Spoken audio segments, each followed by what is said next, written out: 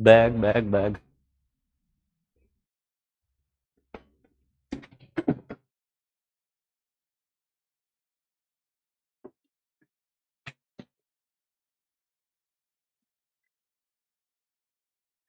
हो गई स्टार्ट चलो भैया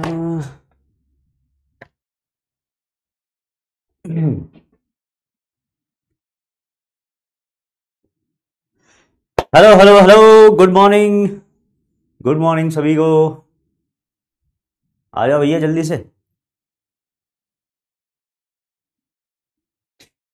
कैसे हो सभी लोग? क्या हाल चाल हैं?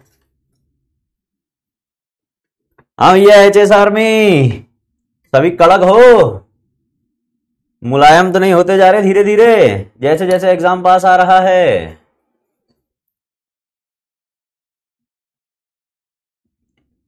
आ जाओ सभी लोग, फटाफट से। आज अपना पी ब्लॉक का ऑलमोस्ट समापन समारोह हो जाएगा। इस साल का सबसे कंफ्यूज्ड टॉपिक आपने पढ़ लिया है बेटा।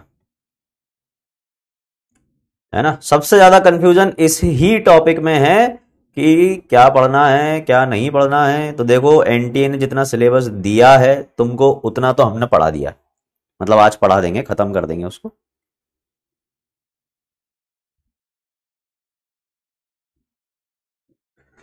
और आज सॉल्ट एनालिसिस भी शाम को खत्म कर देंगे। तो वैसे तो देखा जाए अगर तो आपका आज आज में इनऑर्गेनिक पूरा खत्म हो जाएगा, अगर आपने सॉल्ट एनालिसिस वाली क्लास अटेंड की तो। चलो भैया, अरे कहाँ गई कलम? हाँ भैया। तो हेलो बच्चों, नमस्कार, सत श्रीकाल आदाब, कैसे हैं आप सब? ज़्यादा स्मार्ट तो नहीं लग रहा मैं आज? ठीक है, चलो। हाँ। हाँ। तो स्वागत है आप सभी का एक बार फिर से इनऑर्गेनिक केमिस्ट्री की क्लास में। बेटा, आज हम पी ब्लॉक का आखिरी लेक्चर पढ़ने वाले हैं। खत्म कर देंगे आज पी ब्लॉक लगभग लगभग। अगर इसके बाद ज़रूरत पड़ेगी तो अपन एक लेक्चर और लेंगे, जिसमें हम क्वेश्चन प्रैक्टिस करेंगे। अगर ज़रूरत पड़ी तो है ना? एक लेक्चर और लेंगे, उसमें क्वेश्चन प्रैक्टिस करेंगे। ठीक है? चलिए तो शुरू करते हैं।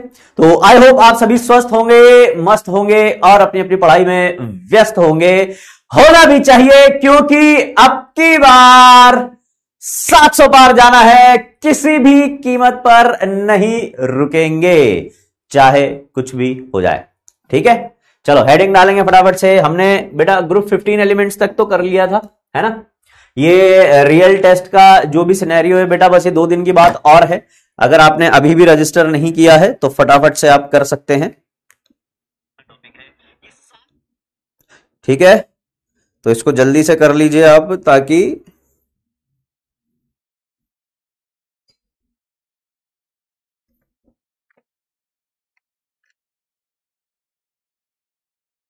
आपको बाद में दिक्कत ना आए।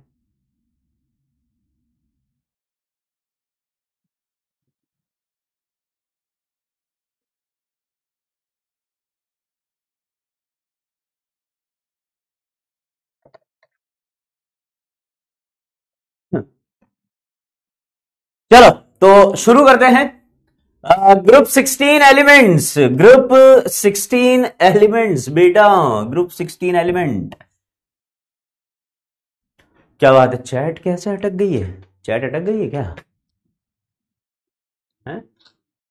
चैट वैट अटकी हुई सी कैसे नज़र आ रही है? एकदम कड़क। कड़क ही रहना माँगता है अपने को। कड़क ही रहना माँगता है। यार ये चैट कहाँ गए कपिल जी? चैट अटकी हुई क्या? देखना जरा। चैट काम कर रही है?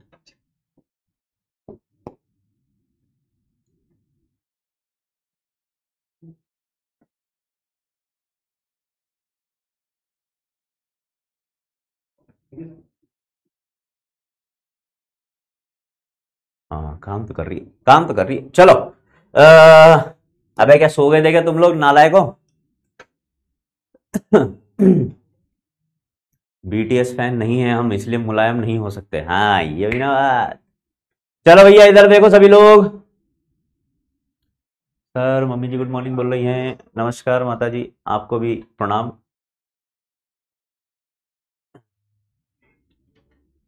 अच्छा मोहित सर नहीं आए क्या?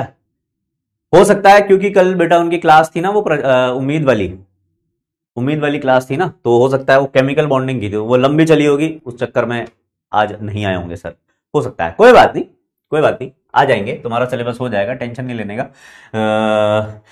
बेटा ग्रुप 16 एलिमेंट चालू करने से पहले ग्रुप 16 एलिमेंट्स चालू करने से पहले आपको ये पता होना चाहिए कि इस फैमिली को चालकोजेंस भी बोलते हैं, है ना? नाइट्रोजन फैमिली को अपन निकोजेंस बोलते हैं या निक्टोजेंस बोलते हैं, और ये चालकोजेंस होते हैं।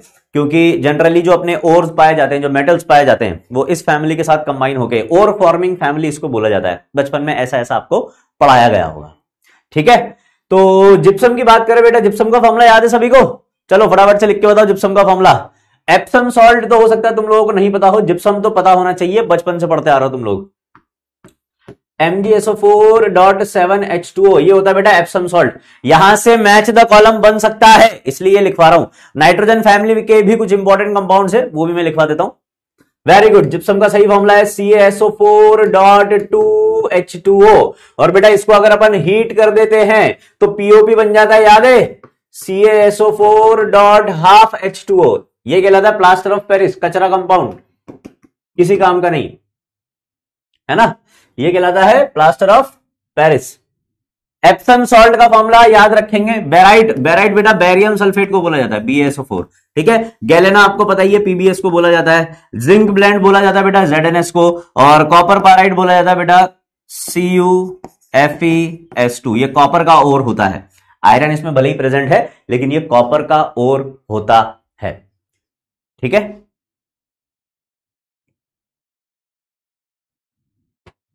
ठीक है बेटा। ठीक है बेटा। लिख लिया ये? है ना? नाइट्रोजन फैमिली में भी कुछ इंपॉर्टेंट कंपाउंड थे, जैसे कि थ्री और के एनओ थ्री याद रखना बेटा, इसको बोलते हैं अपन Chile saltpetre Chile saltpetre अब ये चिली की स्पेलिंग देख लेना, इसमें सिंगल एल या डबल एल है, वो तुम अपने हिसाब से लगा लेना। और इसको बोलते हैं बेटा Indian salt Peter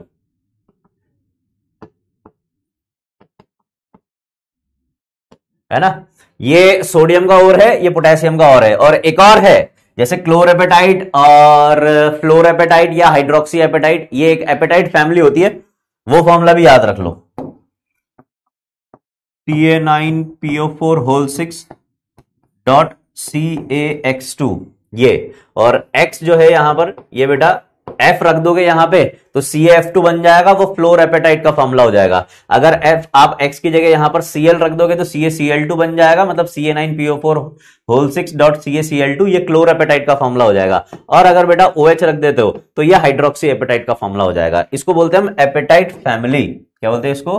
apatite family मतलब नाइट्रोजन फैमिली के एलिमेंट्स जो है ना, वो इस फॉर्म में, जैसे फॉस्फोरस अपने को फॉस्फेट रॉक्स में मिलता है और उसका जो मिनरल होता है, वो ये होता है, फॉस्फेट रॉक में, है ना?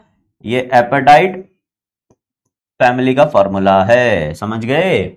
और इधर अगर अपन देखें तो अपने ये ऑक्सीजन सल्फ़र ये सब अपने को इस फॉर्म में मिलते हैं ओर्स के फॉर्म में, ठीक है?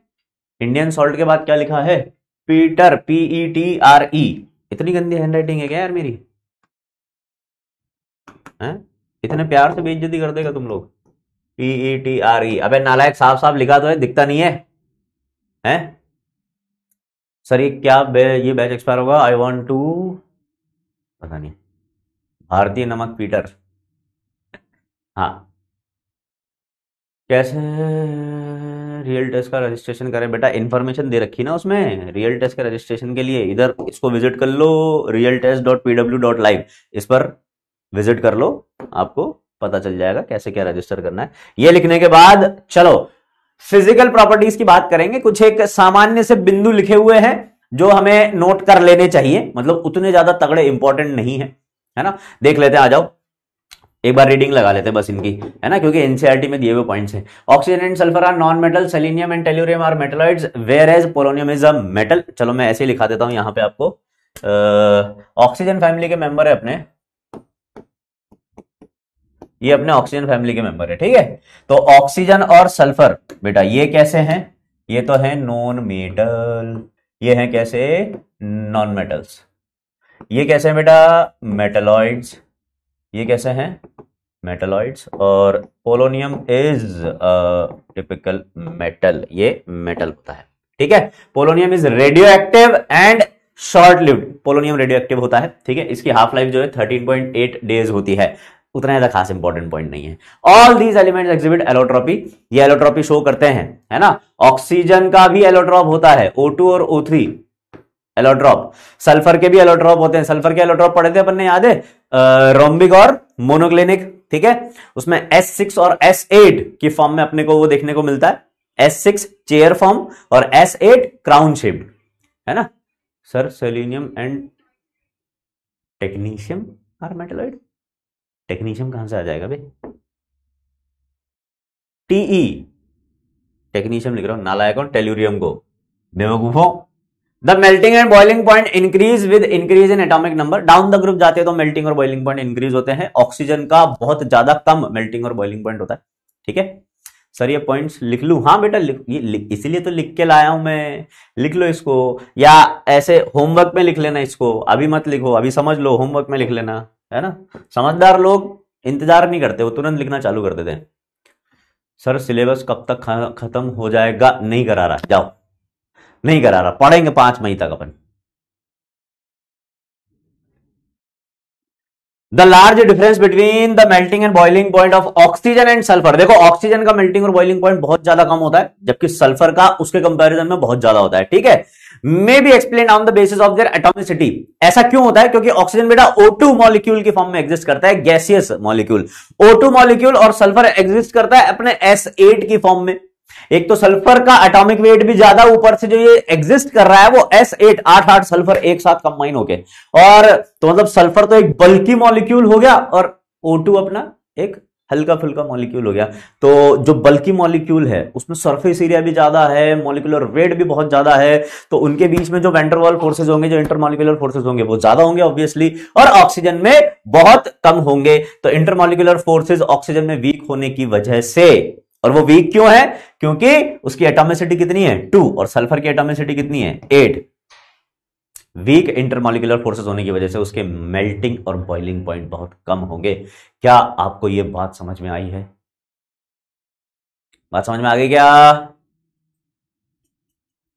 अच्छा ओके सॉरी बेटा सॉरी लिखो लिखो, जल्दी लिखो।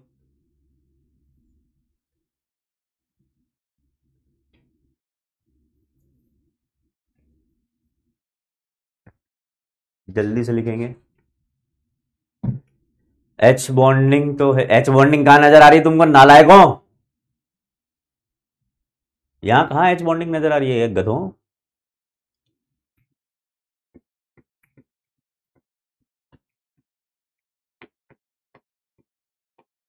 लिख लिया क्या?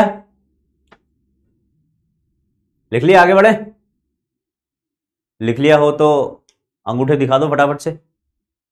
अरे भैया सॉल्ट एनालिसिस है। सॉल्ट एनालिसिस पढ़ना है शाम को। सब लोग आ जाना शाम को पाँच बजे। आओगे ना?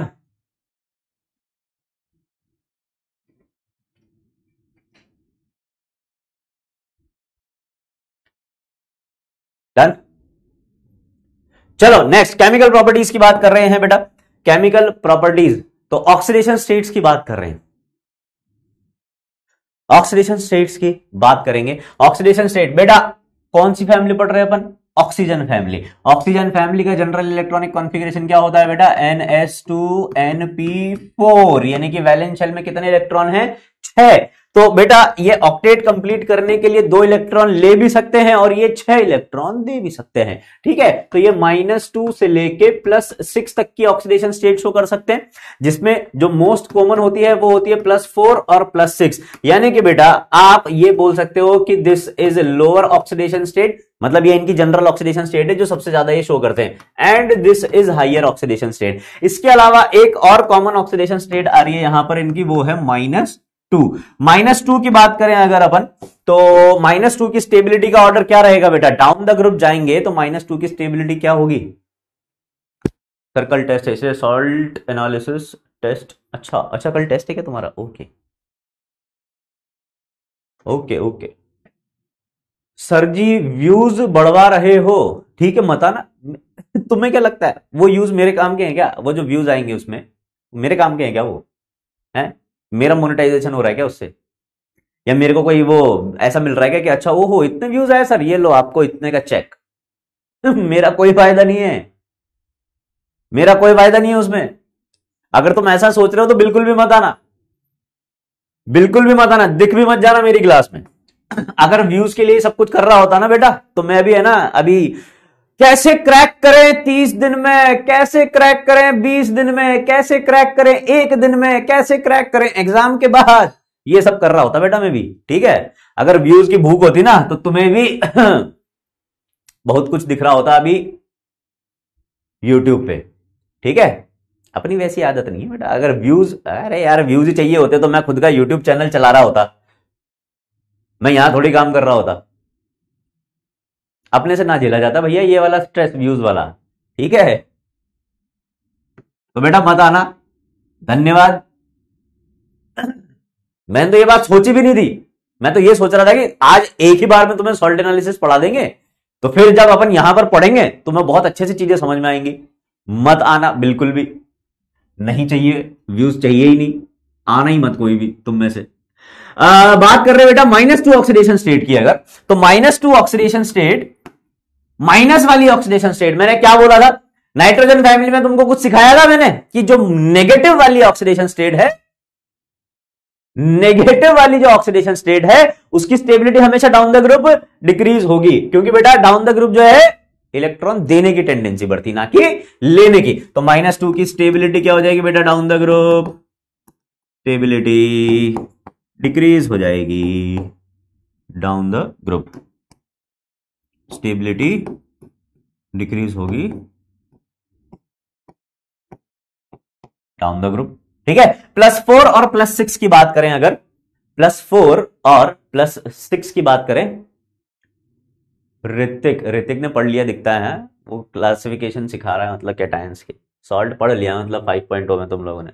बढ़िया बेटा, बढ़िया, बहुत अच्छे। ठीक है, नहीं, मत आना तुम लोग। नहीं चाहिए।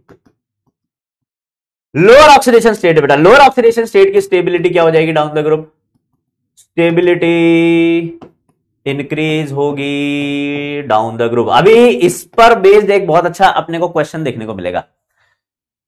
सर आप गेमिंग चैनल ओपन कर लो यूट्यूब पे। करेंगे बेटा कभी? फुर्सत में। जब रिटायर हो जाएँगे ना, तब। ठीक है? और रिटायर अपन बुढ़ापे में नहीं होने वाले। अपन, मैं जवान हो जाऊँगा, तब मैं रिटायर हो जाऊँगा। अभी तो अपन बच्चे हैं। इंक्रीज डाउन द ग्रुप ठीक है? और प्लस सिक्स की स्टेबिलिटी डिक्रीज हो जाएगी बेटा down the group stability decrease हो जाएगी डाउन द ग्रुप ठीक है? अपने नोट्स में लिखी हुई बेटा हर एक लाइन क्वेश्चन तुझसे बुरा मान गए सर अरे नहीं यार, बुरा बुरा नहीं मानते अपन. अब कभी कभार कोई बात ही ऐसी कर देते तुम लोग के व्यूज़ बढ़ा रहे हो सर अरे, मेरा चैनल तोड़ी है, मैं कहा, मैं क्यों व्यूज़ बढ़ाऊँगा भाई? अगर मुझे व्यूज़ ही बढ़ाना होगा तो मैं एक अच्छा सा कैची सा थंबनेल डाल के और ऐसे टॉपिक पे वीडियो बनाऊँगा। तुम्हें लगता है सॉल्ट एनालिसिस पढ़ाने से व्यूज़ बढ़ जाएँगे? सॉल्ट जैसा टॉपिक पढ़ाने से व्यूज़ बढ़ जाएँगे? कुछ भी। रिएक्टिविटी टुवर्ड्स हाइड्रोजन देखो, ये वाला सबसे इंपॉर्टेंट टॉपिक है बेटा। एक नाइट्रोजन फैमिली में भी हमने देखा था, ये बहुत इंपॉर्टेंट है। यहाँ पर भी ये बहुत इंपॉर्टेंट है।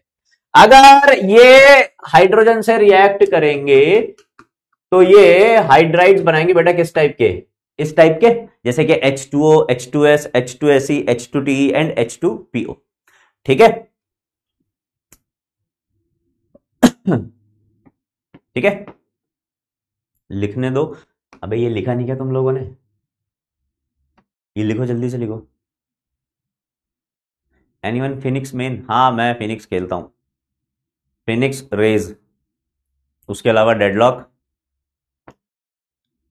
और ओमन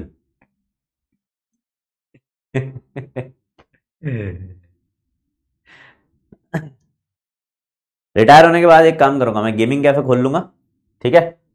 तुम लोग आ जाना अपन लोग साथ में गेमिंग कैफ़े चलाएँगे। ठीक है? चलेगा? लिख लिया ना आप तो गधो। तो बेटा आपसे ये नहीं पूछा जाएगा कि बताओ ऑक्सीजन और हाइड्रोजन रिएक्ट करके क्या बनाएँगे? ऐसे थोड़ी क्वेश्चन इतने टफ क्वेश्चन नहीं पूछे जाते नीट में। थोड़े से ठीक ठाक क्वेश्चन पूछे जाते हैं है ना? आ, जैसे कि वो आपसे पूछेगा कि बताओ इनके मेल्टिंग पॉइंट का ऑर्डर क्या रहेगा? H two O H two S H two S E H two T E इनके मेल्टिंग पॉइंट का ऑर्डर बता दो। इनके बॉइलिंग पॉइंट का ऑर्डर बता दो। बता दोगे क्या? बता दोगे क्या? H2O में क्या हो जाती है बेटा? H बॉन्डिंग ये कौन सा कलर चूज़ कर लिया? इसमें होती है H बॉन्डिंग और बाकी सभी में क्या प्रेजेंट है? वेंडरवॉल फोर्स है।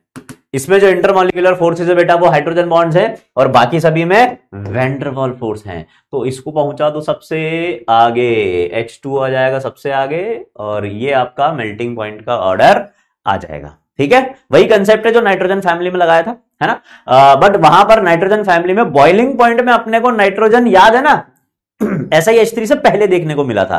क्यों? क्योंकि उसमें फ्लिपिंग हो जाती है, ऐसा मैंने आपको कुछ बताया था, है ना? तो वो फ्लिपिंग क्या होती है, वो तो आपको याद नहीं रखनी, लेकिन हम बॉइलिंग पॉइंट ऐसा ही एच से कम मिलता है। पर यहाँ ऐसा कुछ नहीं है बेटा। यहाँ पर नॉर्मल सा कंसेप्ट है, यहाँ पर मेल्टिंग और बॉइलिंग पॉइंट दोनों ही H2O के ज़्यादा रहेंगे, दोनों का सेम ऑर्डर रहेगा।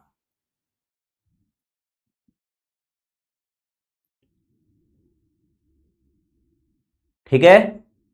MBBS gaming cafe. हाँ एमबीबीएस गेमिंग वाला। सर, एक दिन में तीस घंटे कैसे पढ़े? नमक सूंघ लो पहले, फिर उसके बाद तीस क्या, छत्तीस घंटे पढ़ो।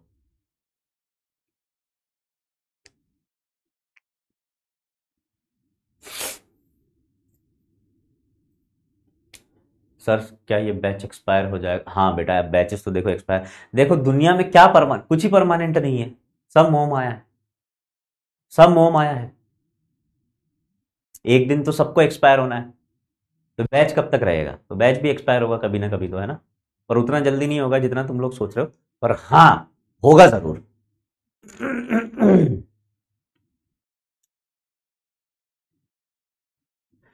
आज सॉल्ट सॉल्ट वॉल्ट देख लेना, तुम लोग अगर मन हो तो कर लेना अटेंड छोड़ो। बॉन्ड एंगल की बात कर रहे हैं बेटा। बॉन्ड एंगल आपको बताया था बॉन्ड एंगल का ऑर्डर क्या रहेगा? डाउन द ग्रुप जाएँगे तो बॉन्ड एंगल ये लिखवा रखा ऑर्डर आपको। ठीक है? ये ऑर्डर आपको लिखवाया जा चुका है। बॉन्ड एंगल का ऑर्डर डाउन द ग्रुप जाते हैं सेंट्रल एटम की इलेक्ट्रोनेगेटिविटी डिक्रीज होती है बॉन्ड एंगल डिक्रीज होता है। ठीक है? फिर बेटा आपने से पूछा जा रहा है क्या? आपने से पूछा जा रहा है स्टेबिलिटी का order H two O H two S या तो ऐसे सीधे सीधे स्टेबिलिटी बोल देगा या फिर ऐसे बोल देगा, बेटा थर्मल स्टेबिलिटी है ना? दोनों का एक ही ऑर्डर है। ठीक है? थर्मल स्टेबिलिटी का ऑर्डर पूछ देगा। तो H two O H two S H two S H two T चलो, आप लोग बताएँगे, बेटा नाइट्रोजन फैमिली में भी हमने स्टेबिलिटी का ऑर्डर लगाया था। यहाँ भी बताओ फटाफट से स्टेबिलिटी का क्या ऑर्डर आएगा? एक लिख रहा है, मेरा क्या, मैं तो चिप्स वाला हूँ। एमबीबीएस चिप्स वाला। वेरी गुड सॉल्ट एनालिसिस कहाँ मिलेगा? यूट्यूब पर, यकीन यूट्यूब चैनल पर। आज शाम को पाँच बजे प्रचंड बैच में क्लास है सॉल्ट एनालिसिस की। डिक्रीजिंग वेरी गुड बेटा, बहुत अच्छे। डिक्रीजिंग ऑर्डर आ जाएगा। डिक्रीजिंग ऑर्डर क्यों आ जाएगा? क्योंकि रीजन लिख लोगे क्या? रीजन लिख लोगे? कि डाउन द ग्रुप जाएँगे तो साइज़ बढ़ेगा। साइज़ बढ़ेगा तो बॉन्ड लेंथ बढ़ेगा। बॉन्ड लेंथ बढ़ेगा तो बॉन्ड स्ट्रेंथ कम हो जाएगा। और बॉन्ड स्ट्रेंथ कम हो जाएगा तो जल्दी टूट जाएगा। जल्दी टूट जाएगा तो स्टेबिलिटी कम हो जाएगा। ठीक है? आगे बढ़े। नेक्स्ट रिड्यूसिंग कैरेक्टर की बात कर रहे हैं बेटा। रिड्यूसिंग कैरेक्टर का ऑर्डर जल्दी से बताएँगे। इंपॉर्टेंट है ये भी। रिड्यूसिंग कैरेक्टर का ऑर्डर बताओ जल्दी से। अपन ने नाइट्रोजन फैमिली में भी देखा था ये। नाइट्रोजन फैमिली में भी देखा था बेटा। रियल टेस्ट को कैसे रजिस्टर करें? वेबसाइट पे चल जाओ रियल टेस्ट की, वहाँ पर हो जाएगा।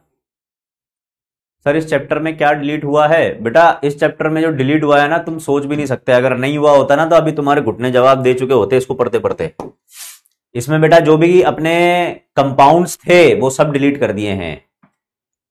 एनडीए ने इंक्रीजिंग ऑर्डर अरे, बहुत बढ़िया, एकदम इंक्रीजिंग ऑर्डर आ जाएगा।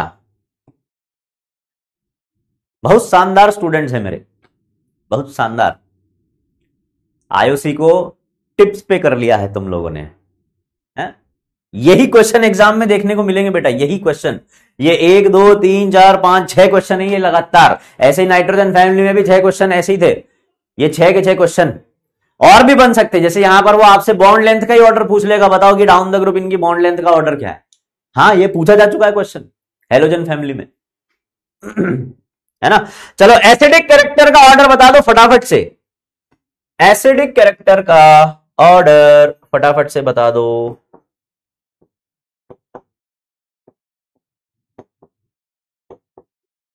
जल्दी से बताएँगे बेटा एसिडिक नेचर का order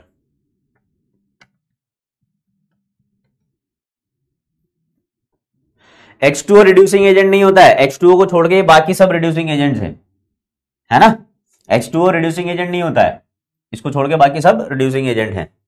ठीक है? ये नोट भी लिखवा देता हूँ अभी मैं। डिक्रीजिंग ऑर्डर आएगा। ऐसा वाला नहीं बेटा डिक्रीजिंग ऑर्डर नहीं आएगा यार। यहाँ तुम गलत हो गए।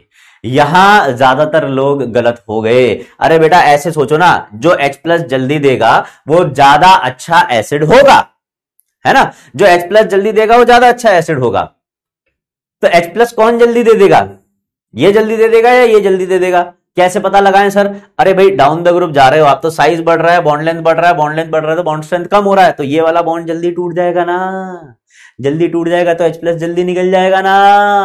और अगर H प्लस जल्दी निकल जाएगा तो ज़्यादा अच्छा एसिड हो जाएगा ना। बात समझ में आ रही है क्या? नालायको इंक्रीजिंग ऑर्डर आएगा। तो बेटा पी ब्लॉक में हाइड्राइड्स का एसिडिक कैरेक्टर आपको डाउन द ग्रुप इंक्रीजिंग ही मिलेगा। ऐसे याद रख लो, है ना? चलो मैं पॉइंट लिखा देता हूँ आपको नोट की फॉर्म में, है ना? एक तो ये वाला लिखा देता हूँ। समझ के ही पढ़ रहे हो ना चीज़ें? रट तो नहीं रहे कहीं। सर रिड्यूसिंग वाला ऑर्डर रिड्यूसिंग वाला ऑर्डर भी सेम ही है। रिड्यूसिंग वाला भी सेम ही है सेम रीजन है।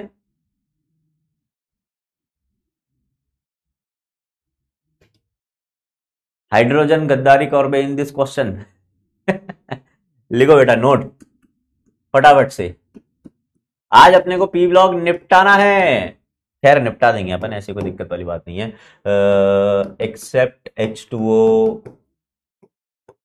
all are reducing agents all मतलब ऑल हाइड्राइड्स लिखना ऐसे, तुम लोग, है ना? पता नहीं, वरना तुम क्या का, क्या ही समझ जाओगे. All hydrides of this family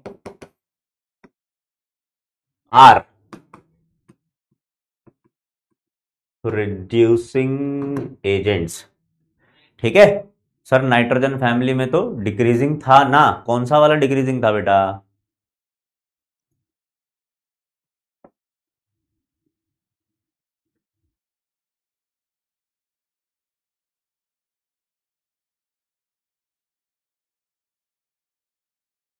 basicity decreasing था। हाँ तो वो तो बेसिक, लुइस बेसिक नेचर का ऑर्डर था बेटा। ये एसिडिक नेचर है। ये एसिडिक नेचर है। लिख लो इसको भी। N P block elements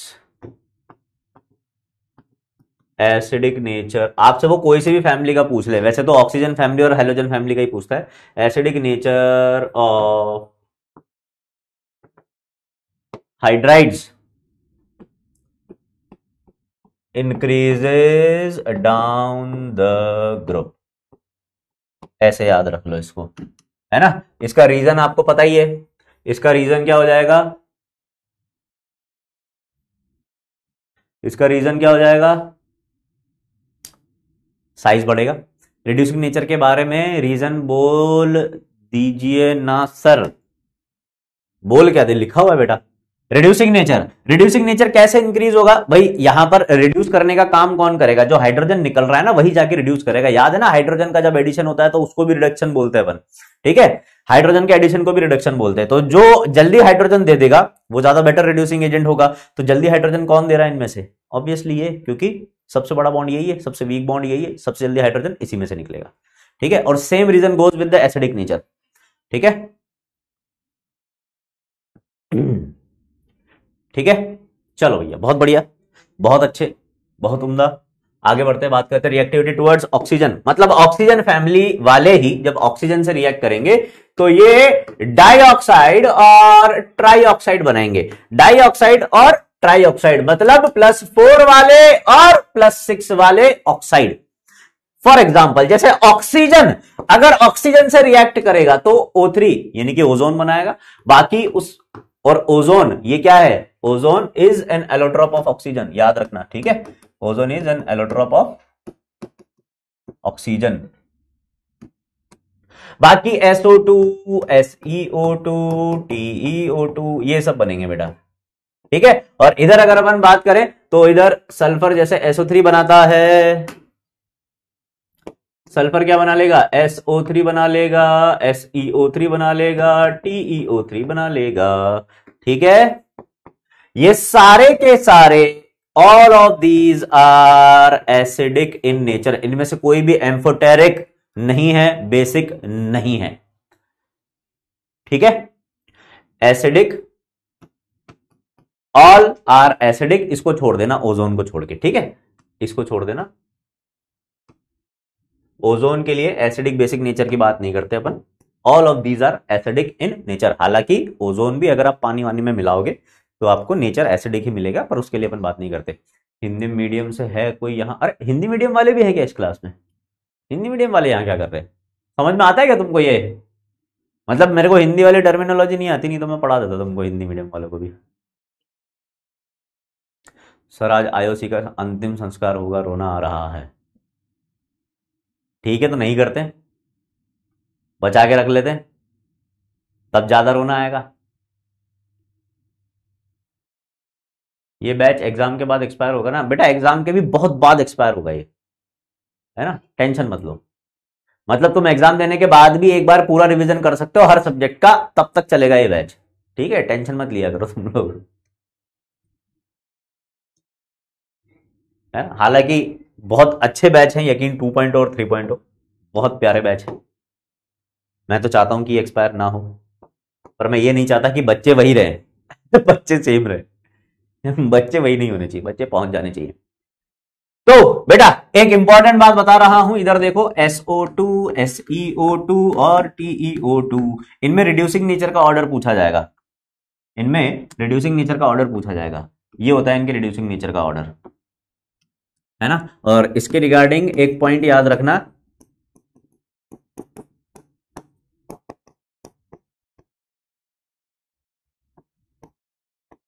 Moist SO2 is a good reducing agent. SO2 का एज अ रिड्यूसिंग एजेंट भी बेटा यूज़ किया जाता है। ठीक है? ये इंपॉर्टेंट ऑर्डर है एग्ज़ाम में पूछा जा सकता है, याद रखेंगे। खैर याद रखने की ज़रूरत नहीं है। तो मतलब इसको एक्सप्लेन कर सकते हो कि ऐसा क्यों हो रहा है। देखो बेटा यहाँ पर प्लस फोर ऑक्सीडेशन स्टेट है plus four plus four plus four तो प्लस फोर की stability down the group increase होती है। प्लस फोर की stability down the group increase होती है। तो सल्फ़र की तो टेंडेंसी रहेगी प्लस सिक्स में जाने की। इसकी टेंडेंसी नहीं रहेगी प्लस सिक्स में जाने की। वो प्लस फोर से प्लस सिक्स में जाएगा तो दो इलेक्ट्रॉन देकर जाएगा मतलब reducing nature reducing nature show करेगा जबकि ये तो प्लस फोर में स्टेबल है, है? इसको भी एक्सप्लेन कर सकते हो आप। कहीं कुछ रटने की ज़रूरत नहीं है। जलंधर किस किसने सेंटर फिल किया है? ओ पाजी मनदीप पाजी सेंटर की बात बाद में कर लेना। अभी इसको लिखो, ये इंपॉर्टेंट ये इंपॉर्टेंट है बहुत ज़्यादा।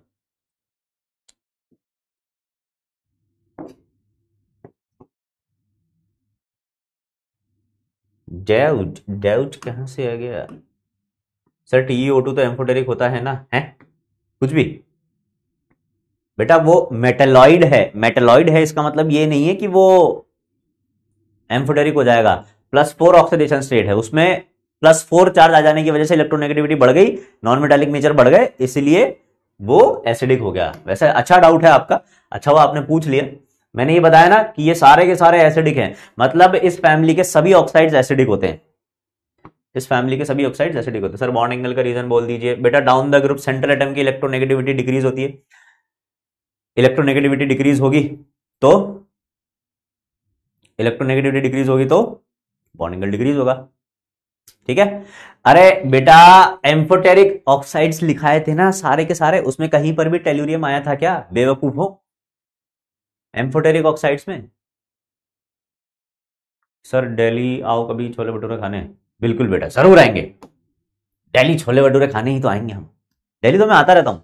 ना साल में चार पाँच बार आ जाता हूँ डेली तो मैं। दिल्ली नोएडा चार पाँच से ज़्यादा ही बार आ जाता हूँ। सर बट मॉड्यूल में तो सारे क्वेश्चन हैं तो बेटा सारे नहीं लगाने हैं सिर्फ़ आपको कहा वो स्टार्टिंग वाले क्वेश्चन लगाने जिसमें फ़िज़िकल केमिकल प्रॉपर्टीज़ अपने नोट्स को पढ़ के जो क्वेश्चन सॉल्व हो रहे हैं सिर्फ़ वो लगाने हैं। ठीक है? सर वार्निंग का रीजन बोल दीजिए। सर रियल टेस्ट ऑनलाइन होगा या offline sir happy birthday Mayank Prajapati in advance okay कुछ भी यार। सर हेडेक हो रहा है क्या करूँ? डॉक्टर गोलगप्पा।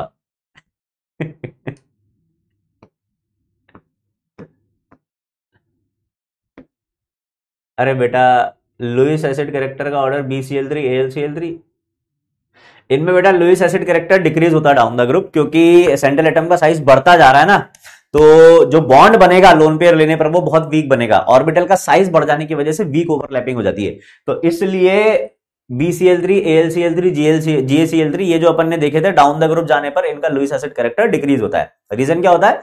साइज़ का बढ़ना। ठीक है? Weak overlapping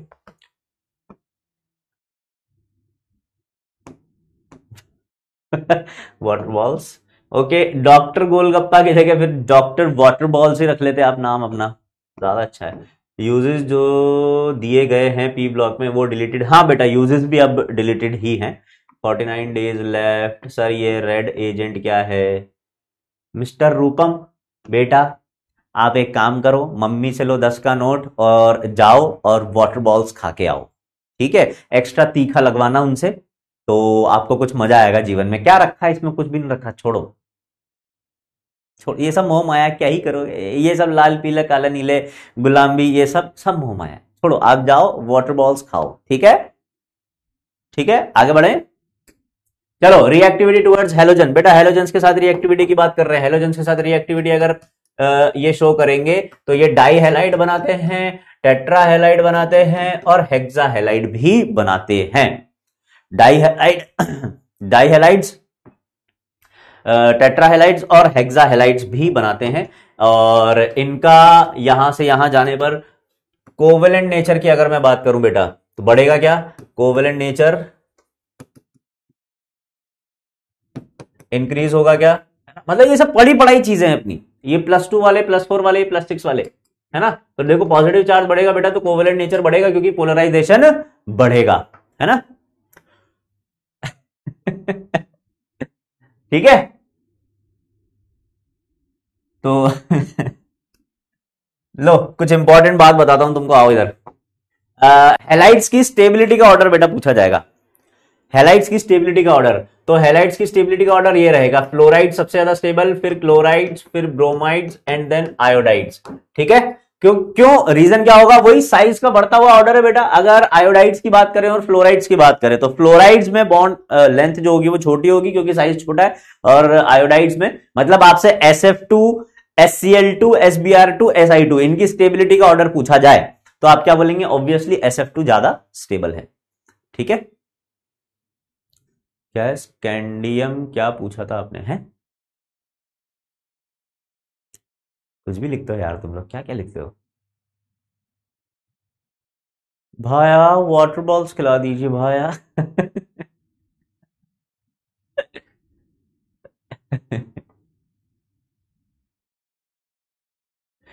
देखो इधर कुछ निब्बा निब्बी लगे हुए हैं। हैं? वो मतलब एक तुम लोग यार मतलब मेरे समझ में नहीं आता, सिर्फ़ मैसेज करके ही फीलिंग ले ले दो यार, है? सामने वाले का रिप्लाई आया तो उसमें ही तुम मतलब खुश हो लेते हो। मेरे को रिप्लाई कर दिया। ओ माय गॉड फिर वो कंफर्म करने के लिए पूछ रहा है कि तुम गर्ल हो या बॉय हो? मतलब तुम वाटर बॉल्स वाली हो या फिर तुम पानी पताशे वाली हो?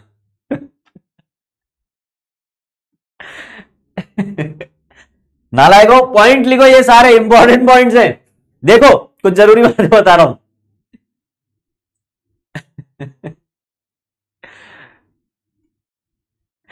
वो, उसको अपनी किस्मत पे भरोसा नहीं हो रहा था कि मेरे को रिप्लाई आ गया तो वो पूछ रहा है, क्योंकि नाम क्या है, उसका सामने वाली का, ऐसा था कि पता नहीं पड़ रहा था उसको कि गर्ल है या बॉय है। तो उसने कंफर्म किया, तुम गर्ल हो या बॉय हो? इधर देखो। Amongst hexa halide hexa fluoride are the only stable halide अगर हेक्सा हेलाइड्स की बात करें बेटा, जैसे कि अगर अपन बात करें सल्फ़र की तो एस एफ़ सिक्स तो एग्जिस्ट करेगा, लेकिन एस सी एल सिक्स बेटा ये एग्जिस्ट नहीं करता। एस बी आर सिक्स ये एग्जिस्ट नहीं करता और एस आई सिक्स ये भी एग्जिस्ट नहीं करता। क्यों नहीं करता? सेम सिंपल सा रीजन है। साइज़ बड़ा है स्टेरिक रिपल्शन रहेगा, छह छह बड़े बड़े आइटम्स नहीं लग पाएँगे। इसलिए सिर्फ़ एस एफ़ सिक्स से ही स्टेबल हो पाता है। ठीक है? All hexafluorides are gases in nature they have octahedral structure hexafluoride जो है, वो गैसियस नेचर के होते हैं। जैसे कि S F six S F six T E F six की अगर अपन बात करें तो ये गैसियस नेचर के होते हैं बेटा। कैसे? गैसियस नेचर के होते हैं ठीक है? Sulphur hexafluoride SF6 is exceptionally stable for steric reasons मतलब इस, इस लाइन का मतलब यह है कि SF6 इसमें स्टेरिक रिपल्शन होने चाहिए थे। स्टेरिक रिपल्शन की वजह से ये अनस्टेबल होना चाहिए था बट एक्सेप्शनली ये स्टेबल है। ऑक्टाहेड्रल शेप बन जाने की वजह से ऑक्टाहेड्रल ज्योमेट्री जो बनती है उसमें रिपल्शन कैंसिल आउट हो जाता है। तीन 180 पर लगे हुए हैं ना तो रिपल्शन कम कर लेते हैं क्योंकि एक वो अच्छी सिमेट्रिकल ज्योमेट्री है। सिमेट्रिकल ज्योमेट्री में रिपल्शन कम होते हैं। ठीक है? ठीक है? ठीक है? नालायकों कुछ तो भी लिखते तुम लोग, इधर देखो। बेवकूफो amongst tetrafluorides SF4 is a gas ये बेटा, मुझे लगता है कि ये लाइन ना आपके स्टेटमेंट वाले क्वेश्चन में यूज़ की जा सकती है। तो आप ये याद रखना SF4 जो है वो गैस है SeF4 लिक्विड और TeF4 सॉलिड स्टेट में एग्जिस्ट करता है। क्या रीजन है बेटा इसका? मॉलिकुलर वेट कम है डाउन द ग्रुप आ रहे हैं। देखो sulphur selenium tellurium down the group आ रहे हैं। डाउन द ग्रुप आएँगे तो मॉलिकुलर वेट बढ़ेगा इंटरमोलिकुलर फोर्सेस स्ट्रांग होंगे। मतलब मतलब मेल्टिंग और बॉइलिंग पॉइंट बढ़ेंगे। और इसीलिए टी फोर जो है, ये सॉलिड में मिल रहा है अपने को, और S F four gas state में मिल रहा है। ये इंपॉर्टेंट पॉइंट एक और यहाँ पर है, इसको ज़रूर नोट करो बेटा, फटाफट से। इसको ज़रूर नोट करो। अपने को बोला जा रहा है, देखो, यहाँ पर अपन ने अभी अभी क्या लिखा था कि ये प्लस टू प्लस फोर और plus six plus two plus four और प्लस सिक्स ऑक्सीडेशन स्टेट में अपने हेलाइट्स बनाते हैं। पर ज़रूरी नहीं है कि सिर्फ़ इन तीनों में बनाए। प्लस वन ऑक्सीडेशन स्टेट में भी हेलाइट बनाते हैं ये। पर वो डाइमर की फॉर्म में अपने को देखने को मिलते हैं। ऐसे मोनोमर की फॉर्म में देखने को नहीं मिलते। जैसे कि ऑक्सीजन और फ्लोरीन कंबाइन होकर मोनोहेलाइट बनाते हैं। लेकिन ये डाइमर की फॉर्म में मिलता है बेटा। O2F2 की फॉर्म में हमें देखने को मिलता है। सल्फ़र और फ्लोरीन या सल्फ़र और क्लोरीन, ये भी आपस में जुड़ के मोनोहेलाइट बनाते हैं। लेकिन ये बेटा कैसे एग्जिस्ट करते हैं? S2F2 की फॉर्म में, या S2Cl2 की फॉर्म में, या Se2Cl2 की फॉर्म में, ये सारे मोनोहेलाइट्स कहलाते हैं। ये सारे मोनोहेलाइट्स कहलाते हैं। ठीक है? तो वही अपने को यहाँ पर देखने को मिल रहे हैं। Well known monohalides are dimeric in nature example S2F2 S2Cl2 O2 Br2 Se2Cl2 Se2Br2 उससे भी एक ज़्यादा इंपॉर्टेंट बात यह है कि जो मोनोमर्स हैं इस फैमिली के मोनोमर्स का मोनोहेलाइड्स हैं। वो डाई अपना डिस्प्रपोर्शनेशन होने की टेंडेंसी रखते हैं। ये डिस्प्रपोर्शनेट हो जाते हैं। जो मोनोहेलाइड्स होते हैं ना डाइमरिक फॉर्म में, ये डिस्प्रपोर्शनेट हो जाते हैं। कैसे हो जाते हैं? इसके लिए एक रिएक्शन लिख लो। S E C L four जो है, ये बेटा ऐसे सॉरी ये S E two C L two जो है, ये डिस्प्रपोर्शनेट हो जाता है। S E two C L two जो है, ये वाला जो मोनोमर अपना डाइमर है मोनोहेलाइट का, ये डिस्प्रपोर्शनेट हो जाता है इस फॉर्म में। एस सी एल फोर और एस की फॉर्म में। ऐसे। ये ऐसे डिस्प्रपोर्शनेट हो जाता है।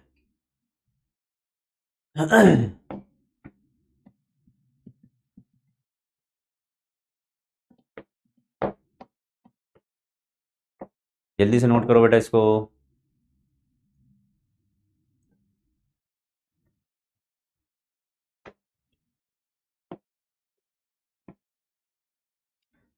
हाँ बेटा, इसको लिखो, मैं देखता हूँ डाउट तुम्हारे। अब कैसे देखूँ? बीस को यहाँ ले आऊँगा तो ये छुप जाएगा। सर एनसीआरटी में गलत दिया है क्या? डी एंड ब्लॉक एलिमेंट उसमें आपने M N and Z N has more than अरे बेटा, इसकी बात डी ब्लॉक में कर लेंगे। टेंशन क्यों लेते हो तुम सर फाइव वाला पॉइंट एक्सप्लेन कौन सा फाइव वाला? एक, दो, तीन, चार, पाँच। अच्छा ये वाला? The well known monohalides are dimeric in nature मतलब ये मोनोहेलाइड्स भी के फॉर्म में भी एग्जिस्ट करते हैं और ये डाइमरिक होते हैं। डाइमरिक मतलब ये जैसे कि SeCl जो है, ये एक क्या है? मोनोहेलाइड है। पर ये किस फॉर्म में एग्जिस्ट करता है? Se2Cl2 के फॉर्म में। ऐसे डाइमर बना के एग्जिस्ट करते हैं। ठीक है? These dimeric halides undergo disproportionation ये डाइमरिक हेलाइड जो है डिस्प्रपोर्शनेट हो जाते हैं इस प्रकार से। जैसा कि आपको यहाँ पर देखने को मिल रहा है। यहाँ पर इसका ऑक्सीडेशन स्टेट प्लस वन था। देखो प्लस फोर में गया और ज़ीरो में गया। मतलब ऑक्सीडेशन भी हो गया और रिडक्शन भी हो गया। मतलब ये डिस्प्रपोर्शनेट हो गया ठीक है? कॉमन डाउट देखो सर, ठीक है कॉमन डाउट देख लेंगे भैया। सर, अगर व्यूज़ के लिए आते ना सर तो सर अभी अंबानी होते। What is the softest allotrope of carbon softest allotrope I think lamp black होगा बेटा। अगर ऑप्शन में लैम्प ब्लैक और ग्रेफाइट दोनों हुआ तो क्या मार्क करेंगे? ऑब्वियसली बेटा लैम्प ब्लैक मार्क करोगे, क्योंकि अमॉर्फस ऑब्वियसली ज़्यादा सॉफ्ट होंगे, है ना? कल की डीपीपी में ग्रेफाइट दिया था आंसर तो उसको सही कर देंगे बेटा। सही कर देंगे अपन, है ना? लैम्प ब्लैक ज़्यादा सॉफ्ट होगा मेरे ख्याल से, है ना? क्योंकि लैम्प ब्लैक तो क्या एकदम पाउडर फॉर्म में होता है वो। ग्रेफाइट से तो ज़्यादा सॉफ्ट होता है। सर आज सॉल्ट एनालिसिस का, इसको सही कर लेंगे बेटा अपन आंसर है ना? लैम्प ब्लैक लगा लेना आप। सर आज सॉल्ट एनालिसिस के नोट्स बना लू तो हमें फिर से नोट्स बनाने की ज़रूरत पड़ेगी क्या? आ, देख लेना मतलब अपन जब पढ़ेंगे तो एडिशन करते जाना अगर कुछ ऐसा लगता है आपको। वैसे ऑब्वियस ही बात है अपन जब क्लास में पढ़ेंगे तो थोड़ा बहुत एक्स्ट्रा आपको देखने को मिलेगा ही सही है ना? थोड़ा बहुत एक्स्ट्रा तो क्लास में पढ़ाएँगे ही ना? क्योंकि वन शॉट में देखो उतना ज़्यादा कंटेंट डिलीवर नहीं हो पाता है जितना अपन ऐसे नॉर्मल क्लासेस में डिलीवर कर पाते हैं। हालाँकि पी ब्लॉक में तो मैंने वन शॉट में भी इतना ही दिया था आप चाहो तो देख लेना पर नहीं रहने दो तुम लोग है ना? फिर कहोगे कि हैं सर व्यूज़ बढ़ा रहे हो पी ब्लॉक पे। Sir please summary lecture provide अबे, ये कौन है समरी लेक्चर अमित सर से कह देना कि जल्दी समरी लेक्चर प्रोवाइड करे सर रिवीजन के लिए बहुत हेल्पफुल है. प्लीज़ सर जल्दी समरी लेक्चर दे दो। अबे, इतने वन शॉट वीडियो तुम्हें पता है? क्या बोलूँ मैं यार? छोड़ो। सर जी प्लीज़ क्लास के एंड में क्वेश्चन एक्सप्लेन कर देना। फ़ोन से डाउट देखना। पिक है साउट के अंदर। अच्छा डाउट के अंदर। नेक्स्ट वीडियो, एक दिन में नीट कैसे क्रैक करें? मैं तो ऐसा वाला वीडियो बनाऊँगा, बिना पढ़े नीट कैसे क्रैक करें? सर, ये नीट यकीन थ्री पॉइंट है, बट आपने फ़र्स्ट साइड पर टू पॉइंट ऐड किया हुआ है। क्यों? आज टू पॉइंट वाले भी क्लास ले रहे हैं क्या? बायो में क्या? बेटा, टू पॉइंट और थ्री पॉइंट बहुत दिनों से साथ में पढ़ रहे हैं। नालायकों कुछ याद नहीं तुम्हें? बायो में क्या आने वाला है टेस्ट में? हाँ ये भी यही पूछ लो तुम। मैं मैं प्लानर बनाता हूँ तुम्हारे यहाँ बैठ के टेस्ट का कि बायो में क्या आएगा और केमिस्ट्री में क्या आएगा। सर समरी लेक्चर भी देना, पूरा टेस्ट सिलेबस खत्म होने के बाद। पूरा सिलेबस खत्म होने के बाद। अच्छा बेटा ओके बेटा। अरे रिवीजन करवाएँगे ना तुम लोगों का टेंशन भी लेते हो?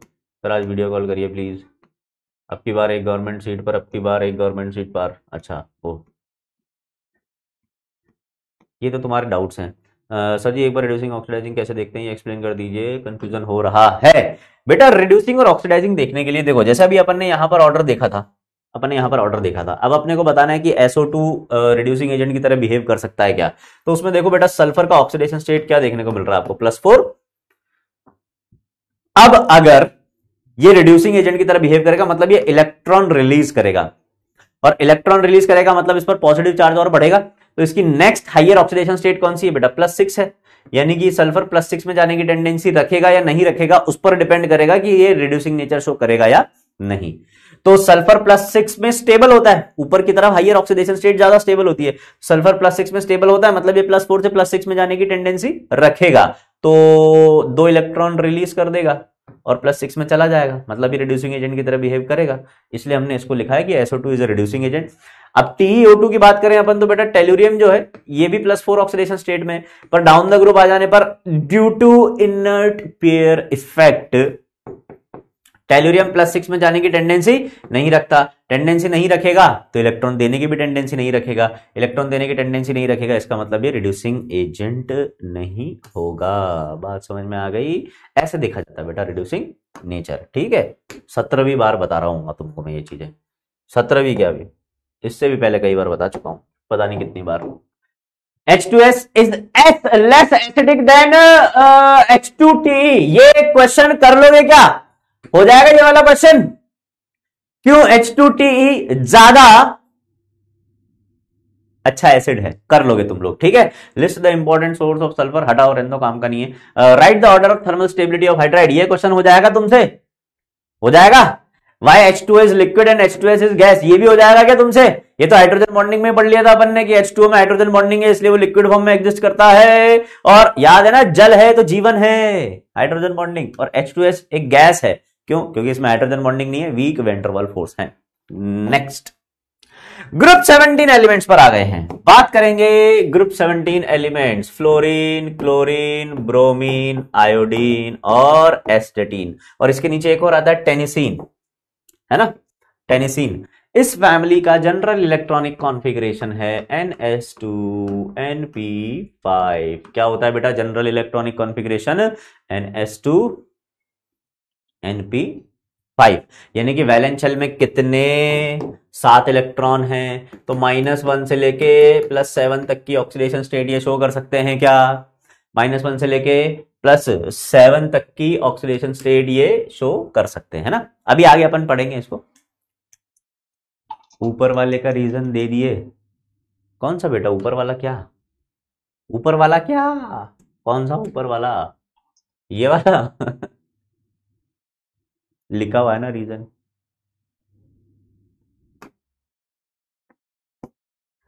तुम लोग सोच के आते हो क्या?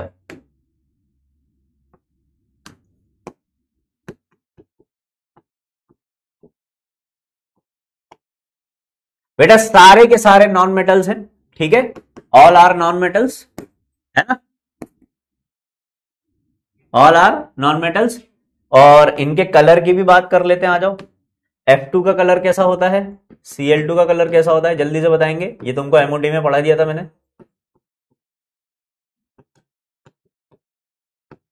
ये ग्रीनिश येल्लो हो जाएगा। ये रेड या आपको रेडिश ब्राउन कलर देखने को मिलेगा। सॉल्ट एनालिसिस में अपन इसको रेडिश ब्राउन बोलते हैं। एनसीआरटी ने इसको रेड लिखा हुआ है। ठीक है? और I2 की अगर अपन बात करें बेटा तो ये वायलेट कलर का होता है। कौन से कलर का होता है? वायलेट ठीक है? F2 जो है बेटा आपको ये गैसियस फॉर्म में देखने को मिलेगा। ये भी गैसियस फॉर्म में देखने को मिलेगा। ठीक है? Br2 लिक्विड फॉर्म में देखने को मिलेगा। और I2 नॉर्मली रूम टेम्परेचर पे सॉलिड स्टेट में हमें मिलता है। ठीक है? आसान सी चीज़ है एकदम। आसान एकदम आसान।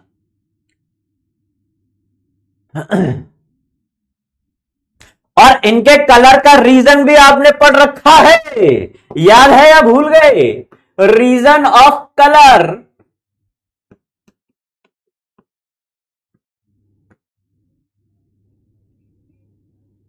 इनके कलर का रीजन आ वेरी गुड बहुत अच्छे बेटा। ब्रोमीन ब्रिक रेड नहीं होता ब्रोमीन गधों, या तो रेड इज़ ब्राउन या फिर रेड देखने को मिलेगा। अपना दिमाग मत लगाया करो तुम लोग। होमो ल्यूमो वेरी गुड बेटा, बहुत अच्छे, बहुत ही बढ़िया। HOMO LUMO transition. ये इनके कलर का रीजन था, बहुत बढ़िया वेरी गुड बच्चों। बस यही तो ऐसे ही तो चीज़ें याद रखनी है, ऐसे ही अपना काम हो जाएगा। है ना? होमोल्यूमो ट्रांजिशन पढ़ा था अपन ने कहाँ पर? मॉलिक्यूलर ऑर्बिटल थ्योरी में। वेरी गुड नेक्स्ट अब देखो इधर बात कर रहे हैं, अपन क्या बोल रहे हैं, ये अपने को although electron gain enthalpy of fluorine is less negative as compare to chlorine fluorine is stronger oxidising agent देखो, ये वाला क्वेश्चन मैं अभी सॉल्व करवाता हूँ आपको। ये वाला क्वेश्चन मैं अभी आपको सॉल्व करवाता हूँ। पहले एक काम करो, तुम लोग एक अच्छा सा काम करो, मैं कुछ तीन इंपॉर्टेंट ऑर्डर लिखवा देता हूँ आपको। या आगे है क्या? मैंने लिख रखा है क्या? Reactivity towards oxygen order of stability of oxide और रिएक्शन विद हाइड्रोजन चलो, यहीं पर लिख लेते हैं उनको। है ना? यहीं पर लिख लेते हैं। इस फैमिली में बेटा तीन इंपॉर्टेंट ऑर्डर आपको याद रखने हैं। कौन सा? एक तो ऑक्सीडाइजिंग नेचर का ऑर्डर ऑक्सीडाइजिंग नेचर का ऑर्डर और रिड्यूसिंग नेचर का ऑर्डर अरे यार, इधर लिखवाता हूँ थोड़ा, इधर। इनके ऑक्सीडाइजिंग नेचर का ऑर्डर बताओ, जो कि मैं आपको पहले एक बार बता चुका हूँ, ठीक है? इनके, बेटा रिड्यूसिंग नेचर का ऑर्डर बताओ, ये भी मैं आपको पहले बता चुका हूँ। और इनकी रिएक्टिविटी का ऑर्डर बताओ। चलो, फटाफट से। ये जो ऑर्डर पूछा जाएगा आपसे ऑक्सीडाइजिंग नेचर वो हेलोजेंस का पूछा जाएगा F2Cl2 आई टू का। रिड्यूसिंग नेचर हेलाइट्स का पूछा जाता है। F negative Cl negative B R negative और आई नेगेटिव और रिएक्टिविटी ऑर्डर भी पूछा जाता है बेटा F2Cl2 Br2 और आई टू जल्दी से बताओ। वेरी गुड बहुत अच्छे। कई लोगों ने बिल्कुल सही जवाब दिया है। कई क्या? लगभग सारे ही लोग सही जवाब दे रहे बहुत अच्छा लगता है। बहुत अच्छा लगता है ये देखकर। और ये ऑर्डर भी तुम लोग सही से पहचान ही लोगे। है ना? रिड्यूसिंग नेचर का order decreasing and then increasing very good बेटा। वेरी गुड अच्छा रिएक्टिविटी का ऑर्डर क्या जाएगा? ऑब्वियस बात है, देखो ऑक्सीडाइजिंग नेचर F2 का ज़्यादा है। इसका मतलब F2 की रिएक्टिविटी ज़्यादा है।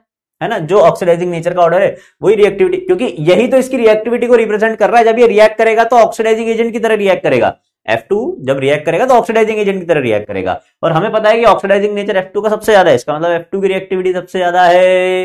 है ना? एकदम आसान। ये तीन ऑर्डर इंपॉर्टेंट है इनको याद रखने का। इसके अलावा एक और इंपॉर्टेंट ऑर्डर था, जो मैंने आपको बताया था बॉन्ड स्ट्रेंथ या फिर बॉन्ड एनर्जी का ऑर्डर भूल तो नहीं गए। F F C L C L B R B R और आई आई बॉन्ड एनर्जी का ऑर्डर बता सकते हो क्या?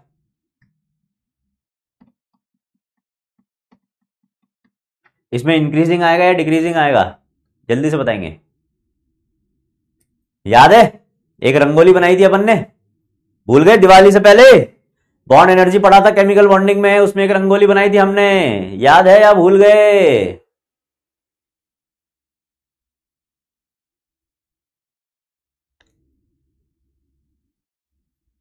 क्या ऑर्डर आ जाएगा बेटा? डिक्रीजिंग आ जाएगा?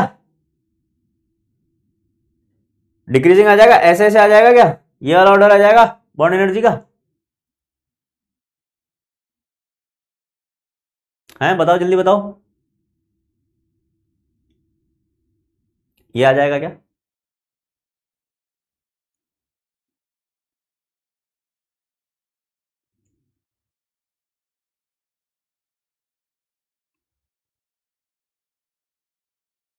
बॉन्ड एनर्जी लिखा है वो यार बी एफ़ नहीं लिखा। अब वो तुम्हारी मन की भावनाएँ ही ऐसी है, जाकी रही भावना जैसी, ये लो, बॉन्ड एनर्जी, बस। ये ऑर्डर आ जाएगा क्या? ये ऑर्डर नहीं आएगा? तो फिर क्या आएगा? तो फिर क्या आएगा? तुम बता दो। अगर ये ऑर्डर नहीं आएगा तो तुम लोग बता दो ऑर्डर क्या आएगा।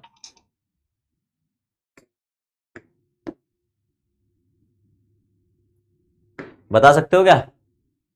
हाईएस्ट ऑक्यूपाइड बहुत से तो अभी होमोल्यूमो पे अटके हुए C L F B R I नहीं, ऐसा तो नहीं है। अरे एफ़ एफ़ और सी एल सी एल में सी एल सी एल की बॉन्ड एनर्जी ज़्यादा थी। बाकी डाउन द ग्रुप डिक्रीजिंग वाला ऑर्डर था। ऐसा क्यों था? अरे भूल गए क्या नालायकों? फ्लोरीन का साइज़ छोटा है, उसकी वजह से बॉन्ड लेंथ कम है। उसकी वजह से दोनों फ्लोरीन पास पास में है बहुत ज़्यादा। तो उसकी वजह से तीन तीन लोन पेयर का रिपल्शन इसमें हो गया। Lone pair lone pair repulsion बेवकूफों, भूल गए तुम लोग। जबकि सीएल का साइज़ बड़ा है तो यहाँ पर लोन पेयर्स में आपस में रिपल्शन नहीं होता है। इसलिए सीएल सीएल बॉन्ड ज़्यादा स्ट्रांग होता है एफ़ एफ़ सिंगल बॉन्ड से। ठीक है? और ओवरऑल ऑर्डर अगर आपको लिखना है तो ओवरऑल ऑर्डर आता है इसका C L two B R two F two and then I two ये ऑर्डर आता है नलायकों। भूल गए ना तुम लोग? ठीक है ऑर्डर ही भूल गए तो मुझे क्या याद रखोगे तुम लोग? ठीक है भैया, देख लिया। यही बात हो गई मतलब है? यही दोस्ती, यही प्यार। कोई बात कोई बात। एक ऑर्डर याद नहीं रख पा तुम लोग। कोई बात नहीं, खैर, सब मोह माया है, एक दिन सबको जाना है, अकेले आए थे, अकेले जाना है, क्या कर सकते हैं? कोई बात नहीं।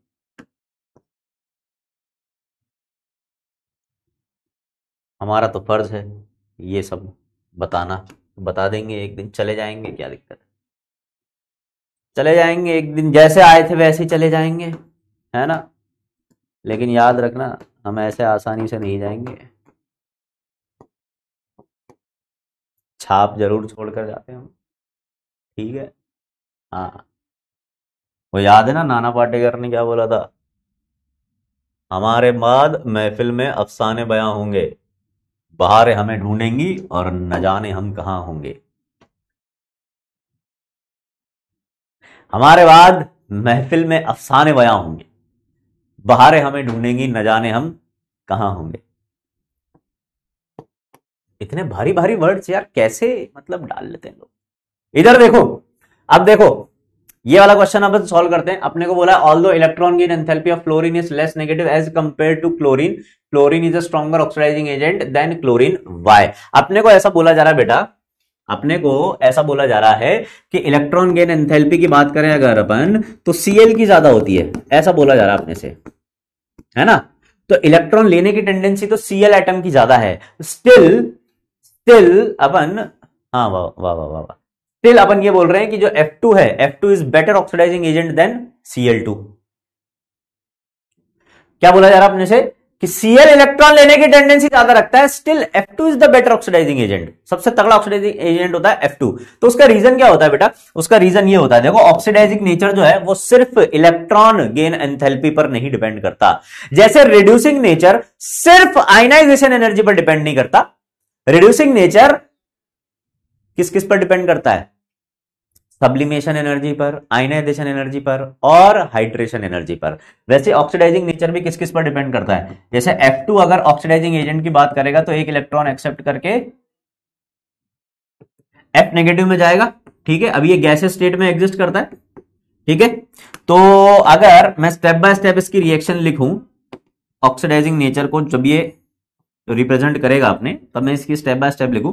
तो पहले ये F2 बॉन्ड को तोड़ के, इस बॉन्ड को तोड़ के इसको एटम में कन्वर्ट करना पड़ेगा। उसमें लगेगी कौन सी? बॉन्ड डिसोसिएशन एनर्जी और एक एटम के लिए लिख रहे हैं, इसलिए बाय टू लिखेंगे।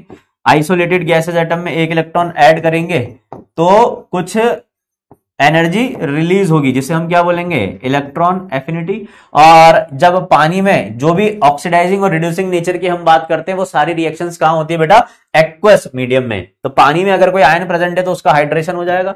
तो यहाँ पर रिलीज़ होगी हाइड्रेशन एनर्जी ये रिलीज़ होगी ये रिलीज़ होगी और ये अपने को देनी पड़ेगी। तो ओवरऑल एंथैल्पी चेंज की अगर अपन बात करें डेल्टा एच की तो ओवरऑल डेल्टा एच की अगर अपन बात करें तो ये डिपेंड करेगा बॉन्ड डिसोसिएशन एनर्जी पर यानी कि ये रिएक्शन फॉरवर्ड जाने के लिए जो डेल्टा एच है वो नेगेटिव होना चाहिए और वो डेल्टा एच बेटा किस किस पर डिपेंड कर रहा है? किस किस पर डिपेंड कर रहा है? बॉन्ड डिसोसिएशन एनर्जी पर, जो कि एनर्जी दे रहे हैं हम। तो बॉन्ड डिसोसिएशन एंथैल्पी का साइन पॉजिटिव आ जाएगा, फिर ईए का साइन नेगेटिव आ जाएगा, और फिर हाइड्रेशन एनर्जी का साइन भी नेगेटिव आ जाएगा, क्योंकि ये दोनों रिलीज़ हो रही है। ठीक है? तो ऐसे ही Cl2 के लिए भी अपन सेम रिएक्शन लिखेंगे। अब जिसका डेल्टा H ज़्यादा नेगेटिव होगा, वो रिएक्शन पहले फॉरवर्ड आगे जाएगी। तो अपने को ये तो बोल ही रखा है कि फ्लोरीन ज़्यादा अच्छा ऑक्सीडाइजिंग एजेंट है। यानी कि ये वाली रिएक्शन जल्दी आगे जा रही है। अगर क्लोरीन वाली रिएक्शन से कंपेयर करूँगा इसको तो Cl2 से Cl नेगेटिव ये वाली जो रिएक्शन होगी और F2 से F नेगेटिव वाली जो रिएक्शन होगी, इनके हाँ बॉन्ड हेबर साइकिल ही है बेटा ये, है ना? बॉन्ड हेबर साइकिल अपन ने ऐसे ही पढ़ा था, है ना? ये ऑक्सीडाइजिंग रिड्यूसिंग नेचर को रिप्रेजेंट करने वाली रिएक्शन है। जब क्लोरीन और फ्लोरीन का आप ऑक्सीडाइजिंग नेचर कंपेयर करोगे तो आप पा रहे हो यहाँ पर कि ये डेल्टा एच जो ज़्यादा नेगेटिव है, वो फ्लोरीन के लिए मिल रहा है। क्यों मिल रहा है? उसका रीजन क्या है? एक तो ये वैल्यू फ्लोरीन के लिए कम है। बॉन्ड डिसोसिएशन एनर्जी कम है ना फ्लोरीन की? बहुत कम है। और हाइड्रेशन एनर्जी ज़्यादा है, जबकि क्लोरीन के लिए सिर्फ़ ये वाली वैल्यू ज़्यादा है। सिर्फ़ उसकी इलेक्ट्रॉन एफिनिटी ज़्यादा है।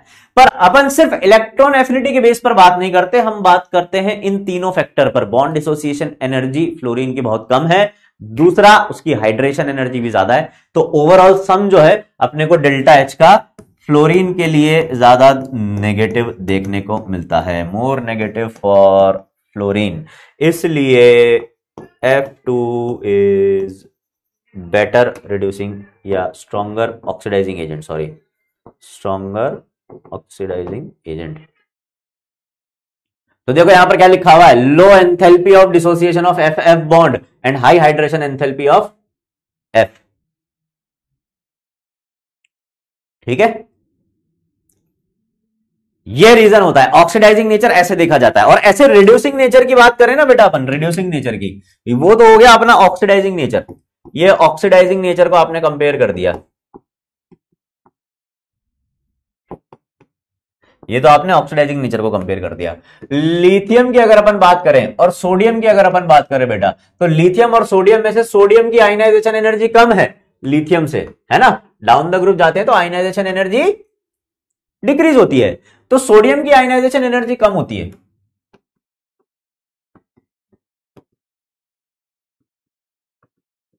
तो रिड्यूसिंग नेचर की अगर अपन बात कर रहे हैं तो लिथियम सोडियम से ज़्यादा बेटर रिड्यूसिंग एजेंट होता है। आइनाइजेशन एनर्जी, उसकी कम है, फिर भी बेटर रिड्यूसिंग एजेंट कौन है बेटा? लिथियम क्यों? क्योंकि जब उसके लिए भी जब अपन सेम रिएक्शन लिखते हैं। इसके लिए अपन इधर लिख लेते हैं, इसके लिए डेल्टा एच और इसके लिए भी डेल्टा एच लिख लेते हैं अपन, ठीक है? तो जब इसका रिड्यूसिंग नेचर ये शो कर रहा है तो कौन कौन सी इसकी स्टेप बाय स्टेप रिएक्शन अगर मैं लिखूँगा तो पहले सॉलिड से इसको गैसेस में लेकर आऊँगा, ठीक है? फिर उसके बाद एक इलेक्ट्रॉन निकाल दूँगा और पानी में है तो इसका हाइड्रेशन हो जाएगा। तो ऐसा ऐसा कुछ सीन देखने को मिलेगा। सॉलिड से गैसेस में कन्वर्ट करने के लिए कौन सी एनर्जी लगती है बेटा? सब्लिमेशन एनर्जी जो कि देनी पड़ती है। आइसोलेटेड गैसेस एटम से एक इलेक्ट्रॉन निकालने के लिए कौन सी एनर्जी लगती है बेटा? आयनाइजेशन एनर्जी जो कि देनी पड़ती है। और एक आयन केटायन पानी में प्रेजेंट है तो उसका हाइड्रेशन एनर्जी जो कि रिलीज़ होती है। ठीक है? सेम यही सेम यही रिएक्शन इसके लिए भी हमें देखने को मिलेगी। ठीक है? सेम यही रिएक्शन हमें इसके लिए भी देखने को मिलेगी। सोडियम के लिए भी सेम यही रिएक्शन देखने को मिलेगी बेटा, ठीक है? तो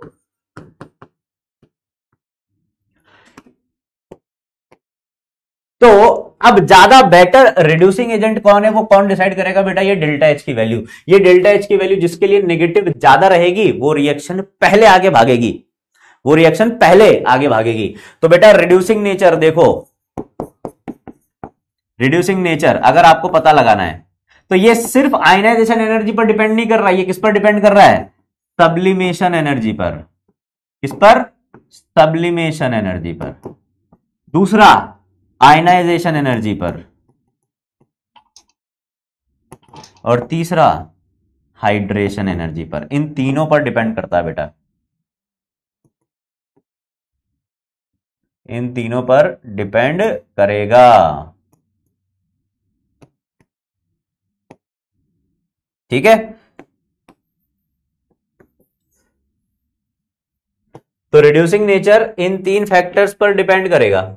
इन तीन फैक्टर्स पर, ठीक है? अब यहाँ पर अगर अपन देख रहे हैं तो डेल्टा एच की अगर अपन बात करेंगे तो sublimation energy plus ionisation energy इनके आगे तो पॉजिटिव साइन लगा रहे हैं। पॉजिटिव क्यों लगा रहे हैं? क्योंकि देने वाली एनर्जी और रिलीज़ होने वाली एनर्जी के आगे क्या लगा देंगे अपन? नेगेटिव साइन ठीक है? तो जो ओवरऑल डेल्टा एच अपने को देखने को मिलता है, ये ज़्यादा नेगेटिव किसके लिए देखने को मिलेगा? फॉर लिथियम इसीलिए lithium is stronger reducing agent lithium is stronger reducing agent इसीलिए लिथियम एक स्ट्रॉन्गर रिड्यूसिंग एजेंट बन जाएगा।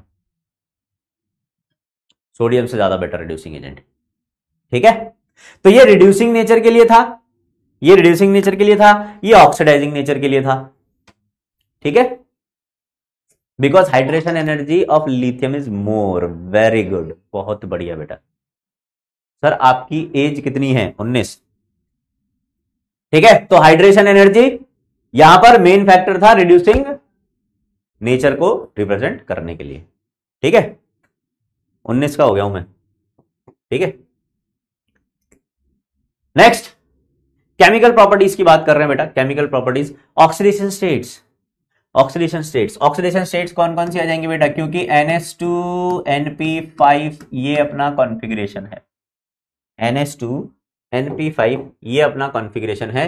तो ये अपने को माइनस वन से लेके प्लस सेवन तक की ऑक्सीडेशन स्टेट शो करते हुए नज़र आते हैं। माइनस वन से लेके प्लस सेवन तक की ऑक्सीडेशन स्टेट हमें शो करते हुए नज़र आते हैं, जिसमें से minus one plus one plus three plus five और प्लस सेवन ये इतनी रेंज शो करते हैं। माइनस वन से लेके प्लस सेवन तक। उसमें भी जो सबसे ज़्यादा ये शो करते हैं, वो माइनस वन प्लस थ्री और प्लस फाइव ये तीन ऑक्सीडेशन स्टेट ज़्यादा शो करते हैं। अपने को माइनस वन से लेके प्लस सेवन तक की देखने को मिलती है, लेकिन ज़्यादा कौन सी शो करते हैं माइनस वन प्लस थ्री और प्लस फाइव ये सारी ऑक्सीडेशन स्टेट से शो करते हैं।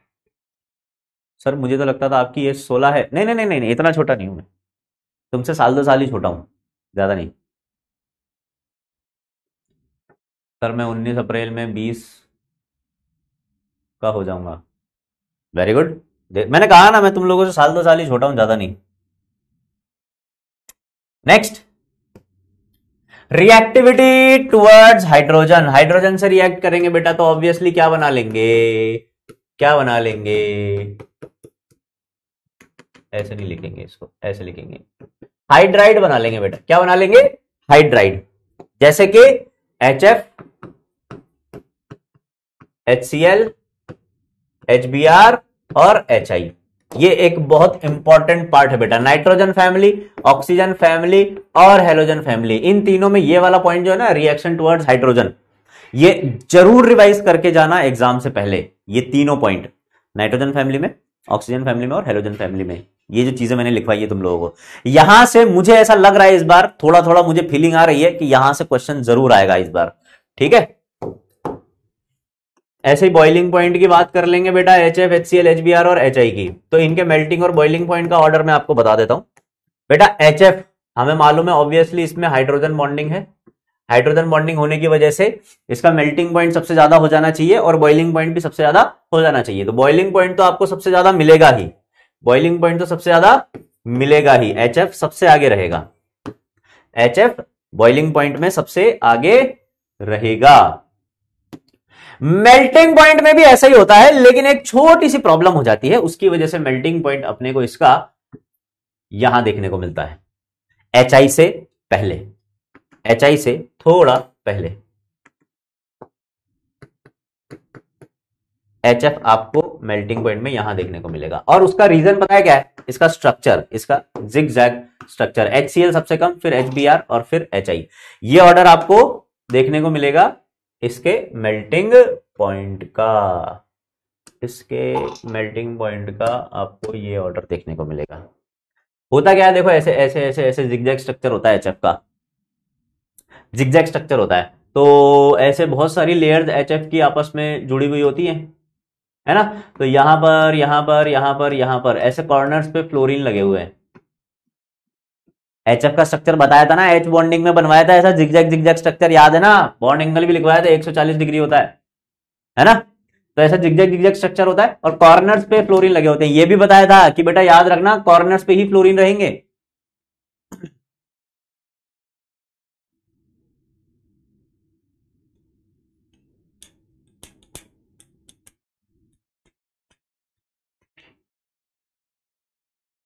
हाँ केमिकल बॉन्डिंग में बनाया था, है ना? तो देखो फ्लोरीन फ्लोरीन ये लेयर्स एक के ऊपर एक के ऊपर एक लगी हुई है और इनके बीच में ये रिपल्शन फ्लोरीन फ्लोरीन में अपने को देखने को मिलता है। ये ऐसा ऐसा रिपल्शन देखने को मिलता है अपने को यहाँ पे। उस रिपल्शन की वजह से इसका मेल्टिंग पॉइंट कम हो जाता है उस रिपल्शन की वजह से इसका मेल्टिंग पॉइंट कम हो जाता है। ठीक है? इसको चाहो तो बना लेना। बाकी ज़रूरी नहीं है। नेक्स्ट स्टेबिलिटी स्टेबिलिटी की बात करेंगे बेटा, और स्टेबिलिटी मतलब वो आपसे क्या? थर्मल स्टेबिलिटी पूछेगा इनकी।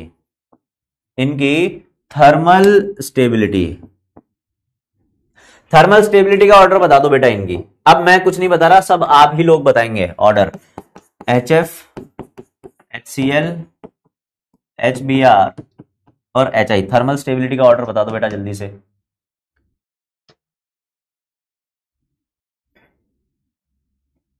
थर्मल स्टेबिलिटी का ऑर्डर बता दो जल्दी से। ऐसे एसिडिक कैरेक्टर का ऑर्डर भी बता दो। H F H C L H B R और एच आई जल्दी से ऑर्डर बताएँगे। और एसिडिक कैरेक्टर का अगर ऑर्डर बता दिया तो पी के का भी ऑर्डर बता दोगे। थर्मल स्टेबिलिटी का वेरी गुड डिक्रीजिंग ऑर्डर आ जाएगा, बहुत अच्छे. रीजन क्या हो जाएगा? साइज़ बढ़ेगा तो बॉन्ड लेंथ बढ़ेगा बॉन्ड लेंथ बढ़ेगा तो बॉन्ड स्ट्रेंथ कम हो जाएगा. बॉन्ड स्ट्रेंथ कम हो जाने की वजह से स्टेबिलिटी कम हो जाएगी. एसिडिक कैरेक्टर का ऑर्डर क्या आ जाएगा बेटा? एसिडिक कैरेक्टर का ऑर्डर वेरी गुड अभी अभी लिखवाया था कि पी ब्लॉक के पी ब्लॉक के जो हाइड्राइड्स हैं, उनमें acidic character down the group increase होता है। और बेटा एसिडिक कैरेक्टर अगर इंक्रीज हो रहा है तो पी के ए की वैल्यू डिक्रीज हो जाएगी, है ना? पी के ए की वैल्यू डिक्रीज हो जाएगी। भाई पी के ए की वैल्यू जितनी कम होगी, उतना ज़्यादा एसिडिक करेक्टर होगा, है ना? तो आपसे ऐसे भी क्वेश्चन पूछा जा सकता है। Which among the following is the correct order of P K value of hydrides of halogen family है ना? ये एक, दो, तीन, चार, पाँच, ये पाँच क्वेश्चन है। एक छठा क्वेश्चन और बनता है इनकी बॉन्ड लेंथ का। है ना? बॉन्ड लेंथ या बॉन्ड स्ट्रेंथ का ऑर्डर बन जाएगा। ऐसे छह, सात क्वेश्चन यहाँ से बनते हैं। तो 20-25 क्वेश्चन ऐसे हैं जो मात्र ये तीन point reaction with hydrogen in fifteenth group sixteen group और सेवनटीन ग्रुप यहाँ से कम से कम 20-22 क्वेश्चन बनते हैं। वो पूरे के पूरे 20-22 क्वेश्चन आपसे हो जाएँगे। ठीक है? बस आपको रिलेट करना आना चाहिए बेटा। आपको रिलेट करना आना चाहिए। अरे निब्बे निब्बियों पढ़ लो। हैं, चैट में घर गृहस्थी की बातें कर लो, यहीं घर बसा लो तुम लोग। के वैल्यू इंक्रीज हाँ अगर के का ऑर्डर पूछेगा तो के का उल्टा ऑर्डर बना देना इसका। मतलब जो एसिडिक करेक्टर का ऑर्डर है, वही के वैल्यू का ऑर्डर आ जाएगा और पी के का उसका उल्टा ऑर्डर आ जाएगा। ठीक है?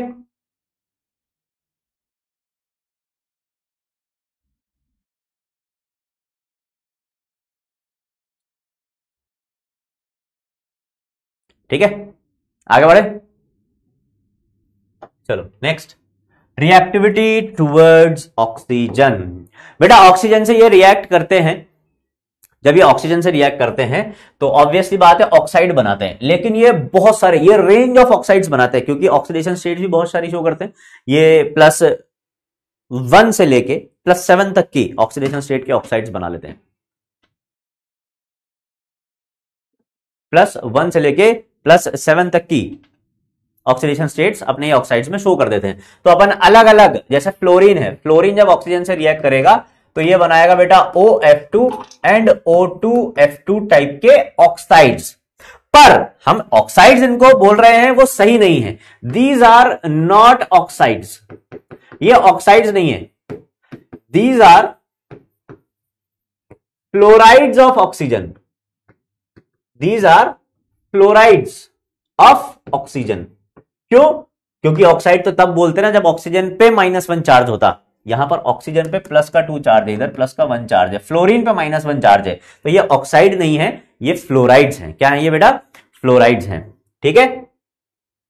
फ्लोराइड्स हैं। Both of these are good fluorinating agent अच्छे फ्लोरिनेटिंग एजेंट होते हैं बेटा। फ्लोरिनेटिंग एजेंट मतलब जो फ्लोरिन देने का काम करे, फ्लोराइड आयन जोड़ने का काम करे, वो फ्लोरिनेटिंग एजेंट्स कहलाते हैं। ठीक है? दीज आर यूज्ड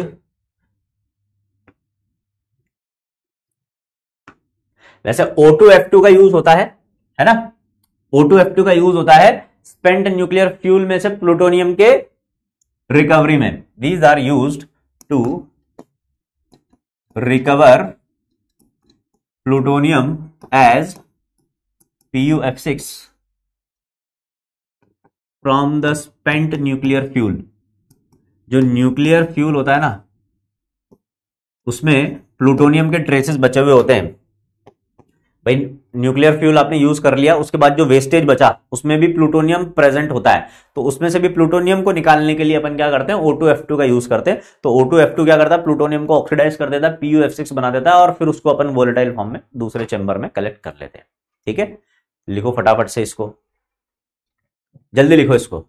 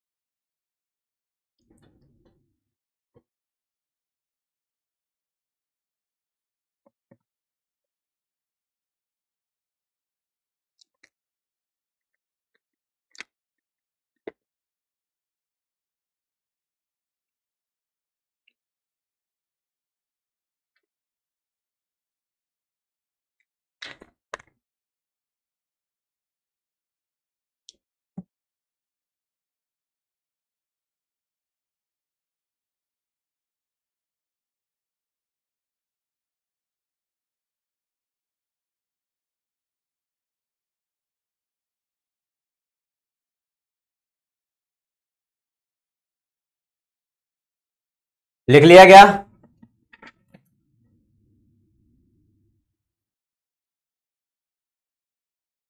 लिख लिया गया नालायकों।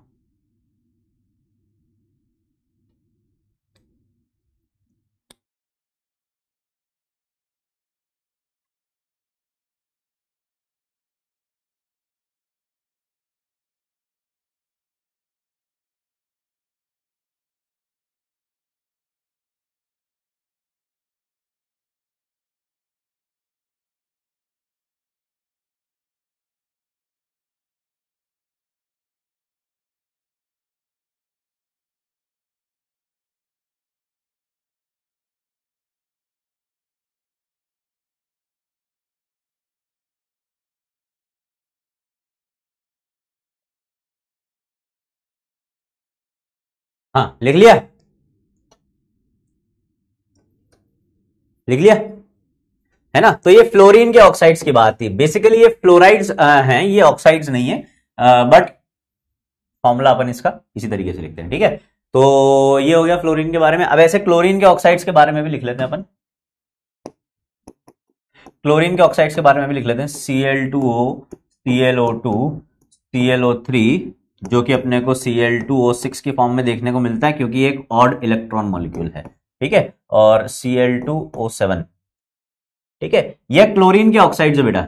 ये क्लोरीन के ऑक्साइड्स हैं, और ये अच्छे ऑक्सीडाइजिंग एजेंट्स होते हैं। Good oxidising agents oxidising agents होते हैं। एंड एक्सप्लोजिव भी होते हैं। ये एक्सप्लोजिव भी होते हैं। ठीक है? इनमें जो सीएलओ टू है बेटा, इनमें जो सीएलओ टू है CLO two is use as bleaching agent ये ब्लीचिंग एजेंट की तरह यूज़ होता है। CLO two is use as bleaching agent ये अपना जो टेक्सटाइल इंडस्ट्री है और जो पेपर पल्प इंडस्ट्री है, उसमें एज अ ब्लीचिंग एजेंट की तरह यूज़ होता है। कौन? सीएलओ टू ब्लीचिंग एजेंट क्या होते हैं पता है? ब्लीचिंग एजेंट पता है? ब्लीचिंग एजेंट वो होते हैं। ब्लीचिंग एजेंट वो होते हैं जो ब्लीच करने का काम करते हैं। जो ब्लीच करने का काम करते हैं। ब्लीच करने का काम करते हैं मतलब ब्लीच मतलब कलरफुल सब्सटेंस को कलरलेस में कन्वर्ट करना। यह होता है ब्लीचिंग ठीक है? तो अपनी जो टेक्सटाइल इंडस्ट्री है, इसमें बहुत वास्ट यूज़ होता है ब्लीचिंग का। और ऐसे अपनी जो पेपर पल्प इंडस्ट्री जो पेपर इंडस्ट्री है ना पेपर पेपर बनाने के जो अपनी इंडस्ट्रीज़ हैं, इनमें भी ब्लीचिंग एजेंट्स का काफ़ी अच्छा यूज़ होता है। और इसके बाद सबसे ज़्यादा यूज़ होता है अपनी मेकअप वाली इंडस्ट्री में ब्लीचिंग का। सी ए सी एल टू हाँ बेटा, ये ब्लीचिंग पाउडर होता है। है ना? ये ब्लीचिंग पाउडर होता है। लिख लिया ये?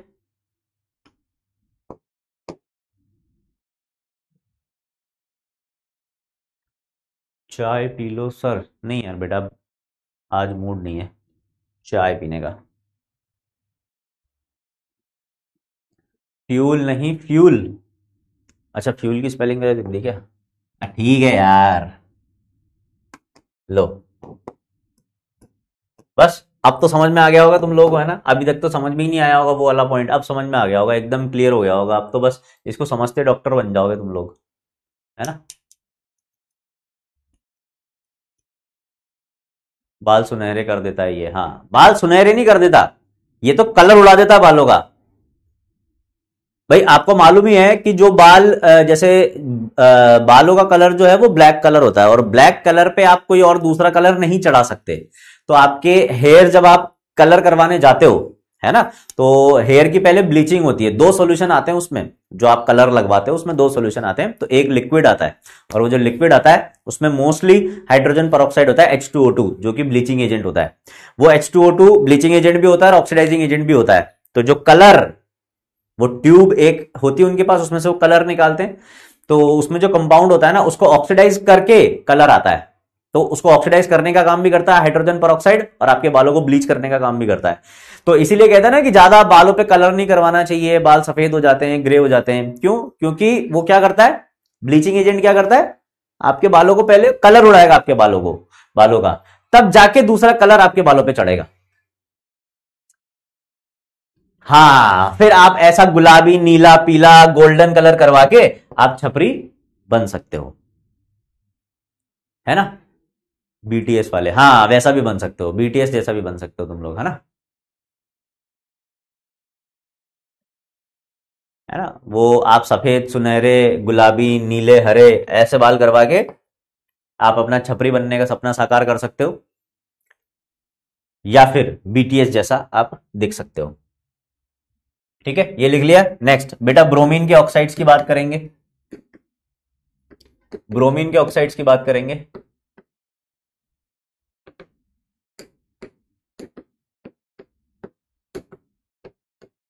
ये ब्रोमीन के ऑक्साइड्स होते हैं। ब्रोमीन के ऑक्साइड्स कंपैरेटिवली लेस स्टेबल होते हैं। ये कंपैरेटिवली लेस स्टेबल होते हैं। These are comparatively less stable and are good और we can say powerful oxidising agent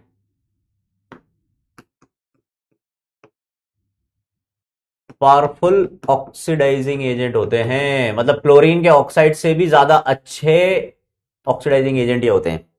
bromine के ऑक्साइड्स ठीक है? ब्रोमीन के ऑक्साइड्स क्यों? क्योंकि ब्रोमीन के ऑक्साइड्स लेस स्टेबल होते हैं। क्लोरीन और आयोडीन इन दोनों के ऑक्सीडाइजिंग इनकी दोनों के ऑक्साइड से। ठीक है?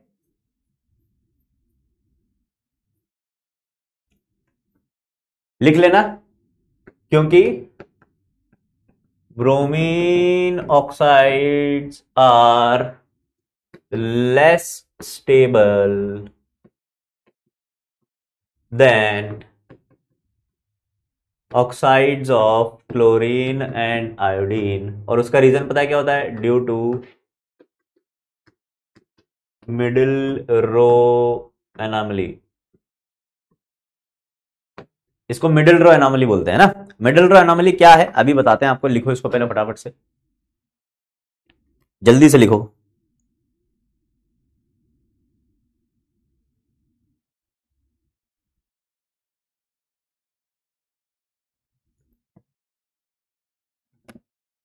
लिख लिया?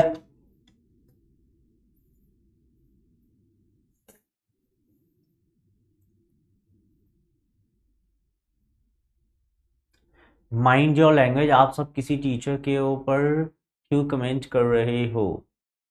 अरे यार बेटा छोड़ो, इन बेवकूफ़ों को कौन समझाए?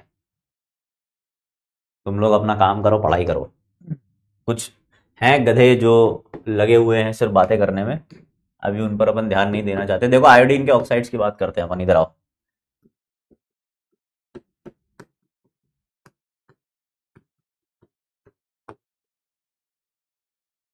ये आयोडीन के ऑक्साइड्स है बेटा। ये आयोडीन के ऑक्साइड्स हैं। ठीक है? ये आयोडीन के middle row anomaly middle row anomaly लिखा हुआ है बेटा मिडिल रो एनॉमली है ना? अभी इसको समझाऊँगा मैं, अभी समझाता हूँ। अभी इसकी स्टेबिलिटी की जब अपन बात करेंगे है ना? हाँ अभी स्टेबिलिटी की जब बात करेंगे, तब मैं इसको बताऊँगा। पहले इसके बारे में लिख लो। ठीक है? I two four I two four I two seven ये भी है, ठीक है? ये भी ऑक्सीडाइजिंग एजेंट की तरह यूज़ किए जाते हैं, पर ये उतने अच्छे ऑक्सीडाइजिंग एजेंट नहीं होते जितने क्लोरीन और ब्रोमीन के ऑक्साइड्स होते हैं। ठीक है? आई टू ओ फाइव जो है, ये it is used as oxidising agent also और it is also used as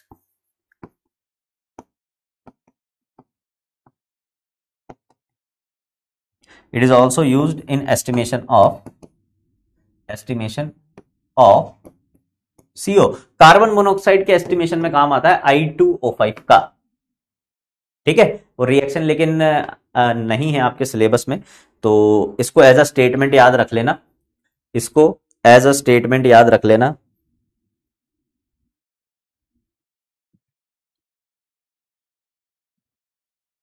लिखो इसको जल्दी से, फिर उसके बाद अपन आगे बढ़ते हैं। मैं आपको ये बताता हूँ कि क्यों ब्रोमीन के ऑक्साइड सबसे कम स्टेबल हैं। आयोडीन के सबसे ज़्यादा स्टेबल होते हैं और फिर क्लोरीन के।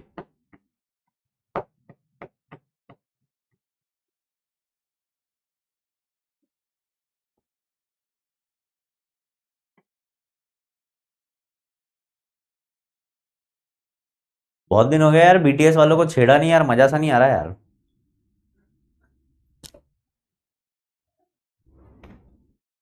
आज सोच रहा हूँ लास्ट क्लास है सॉल्ट एनालिसिस की प्रचंड बैच में।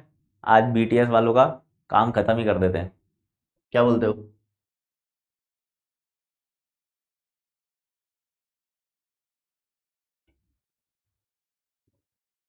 लिख लिया? चलो, आगे। लिखो बेटा, इनकी ऑक्साइड्स की स्टेबिलिटी का ऑर्डर ऑक्साइड्स की स्टेबिलिटी का ऑर्डर लिखेंगे। तो सबसे ज़्यादा स्टेबल होते बेटा आयोडीन के ऑक्साइड्स फिर क्लोरीन के ऑक्साइड्स और फिर ब्रोमीन के ऑक्साइड्स ये इनकी स्टेबिलिटी का ऑर्डर होता है। ये इनकी स्टेबिलिटी का ऑर्डर होता है। अब ऐसा क्यों होता है बेटा? ऐसा क्यों होता है? देखो आयोडीन के जो ऑक्साइड्स है ना आयोडीन के ऑक्साइड्स इसलिए ज़्यादा होते हैं क्योंकि इनकी बॉन्ड की पोलैरिटी बहुत ज़्यादा होती है। बॉन्ड की पोलैरिटी बहुत ज़्यादा होती है। आयोडीन और ऑक्सीजन में क्योंकि इलेक्ट्रोनेगेटिविटी डिफरेंस ज़्यादा है तो बॉन्ड पोलैरिटी बहुत ज़्यादा, उसकी वजह से बॉन्ड स्ट्रांग बनते हैं। इसलिए ये स्टेबल हो जाते हैं। क्लोरीन के ऑक्साइड इसलिए ज़्यादा स्टेबल है क्योंकि ये मल्टीपल बॉन्ड फॉर्मेशन कर लेते हैं।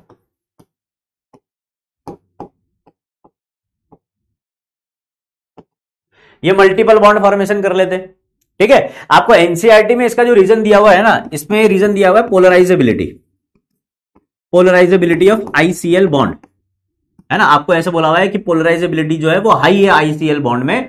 एक्चुअली uh, वो पोलराइजेबिलिटी नहीं पोलैरिटी वहाँ पर लिखा हुआ होना चाहिए। वहाँ पर पोलराइजेबिलिटी लिख कर दिया हुआ है आपको। आप बॉन्ड पोलैरिटी याद रखना। पोलैरिटी क्योंकि ज़्यादा है क्योंकि ई एन डिफरेंस ज़्यादा है ना इसलिए। और सीएल जो है सीएल तो मल्टीपल बॉन्ड फॉर्मेशन कर लेता है। Stable multiple bond formation.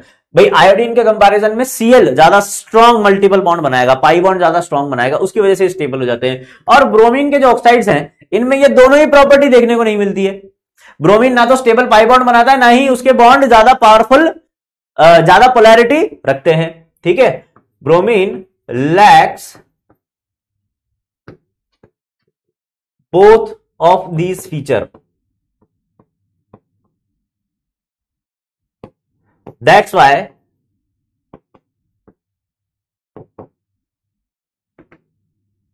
that's why bromine के जो ऑक्साइड्स हैं आर लेस स्टेबल इसी को बोला जाता है मिडिल रो एनॉमली मतलब ये एलिमेंट मिडिल में है। ये मिडिल में है। ऑर्डर या तो ऐसा होना चाहिए था C L B R I या फिर ऑर्डर ऐसा होना चाहिए था I B R C L है ना? मिडिल में होते हुए भी इसकी स्टेबिलिटी सबसे कम देखने को मिल रही है, क्योंकि उन दोनों के पास जो फीचर्स हैं, उनके ऑक्साइड्स को स्टेबल बनाने के लिए, वो इस बेचारे के पास नहीं है मिडिल में होने की वजह से। इसलिए इसको मिडिल रो एनामली बोला जाता है। मिडिल रो एनामली इसको बोला जाता है। ठीक है? सर खेल खत्म, आप कर देना लास्ट ठिकाने हम लगा देंगे। वेरी गुड दाल बाटी चूरमा। अरे छोड़ो यार, बच्चे हैं क्या?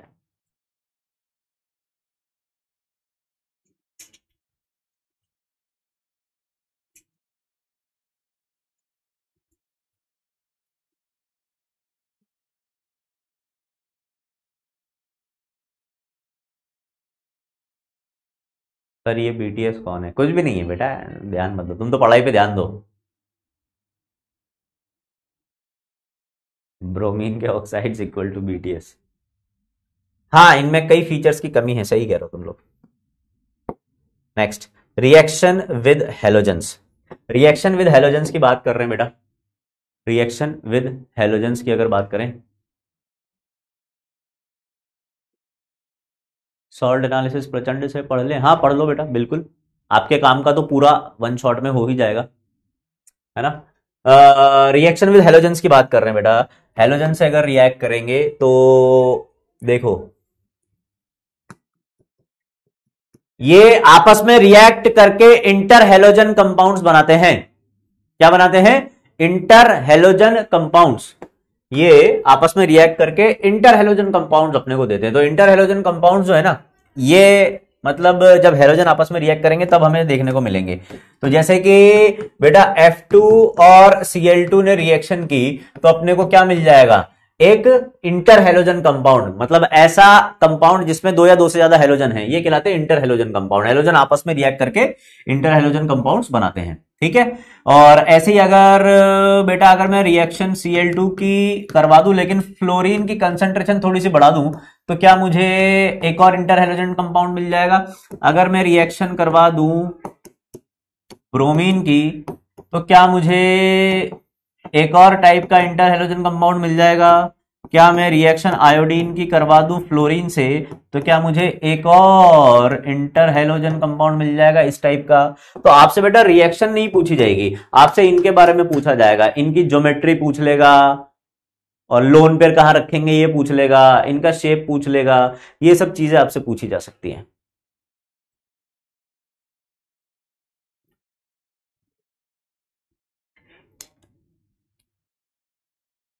सबीना चौधरी को ब्लॉक किया जाए।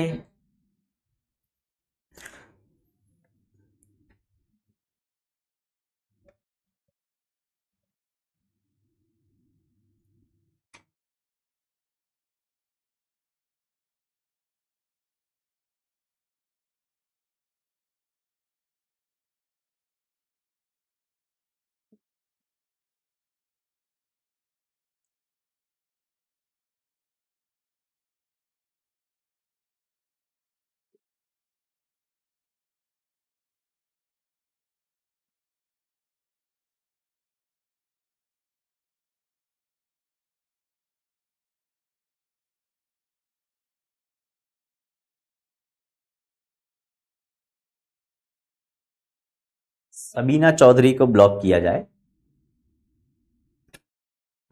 इसको पढ़ाई नहीं करनी है, इसको घर गृहस्थी बसानी है, इसलिए।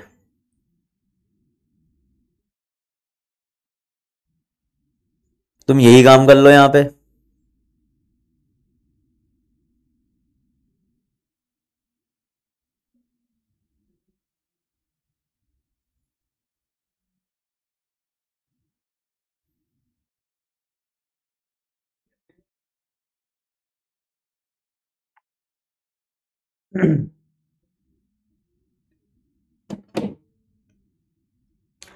हाँ बेटा ये मैट्रिमोनियल वेबसाइट थोड़ी है हर किसी को पकड़ पकड़ के। और मुझे नहीं लगता ये दीदी है, ये दीदी के भेष में कोई दीदा है जो परेशान किए जा रहा है जब से स्पैमिंग कर रहा है।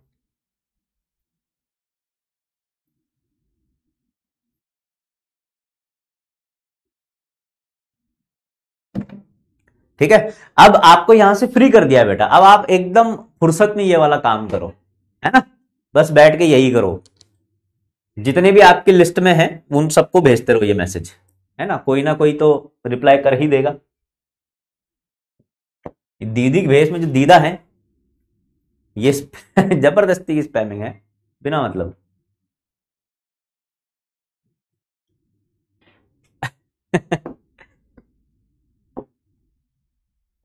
ये पता है, ये ये ये वैसे लोग होते हैं। वो आपने मूवी देखी चुप चुप के?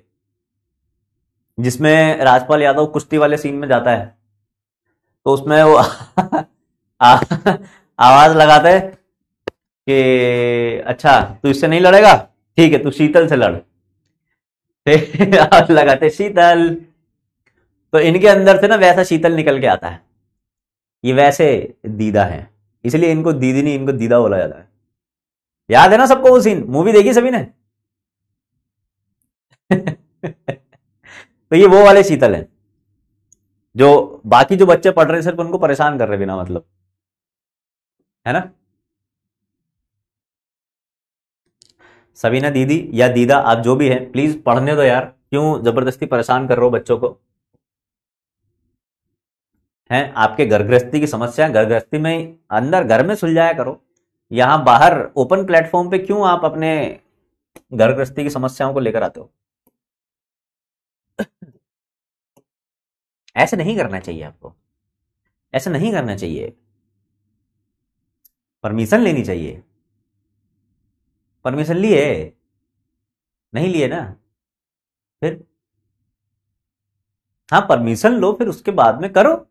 जो करना है। परमिशन लेनी चाहिए। है ना? अब तुम्हारे चक्कर में अभी एक कोई सा इंपॉर्टेंट पॉइंट रह जाएगा। फिर? नालायकों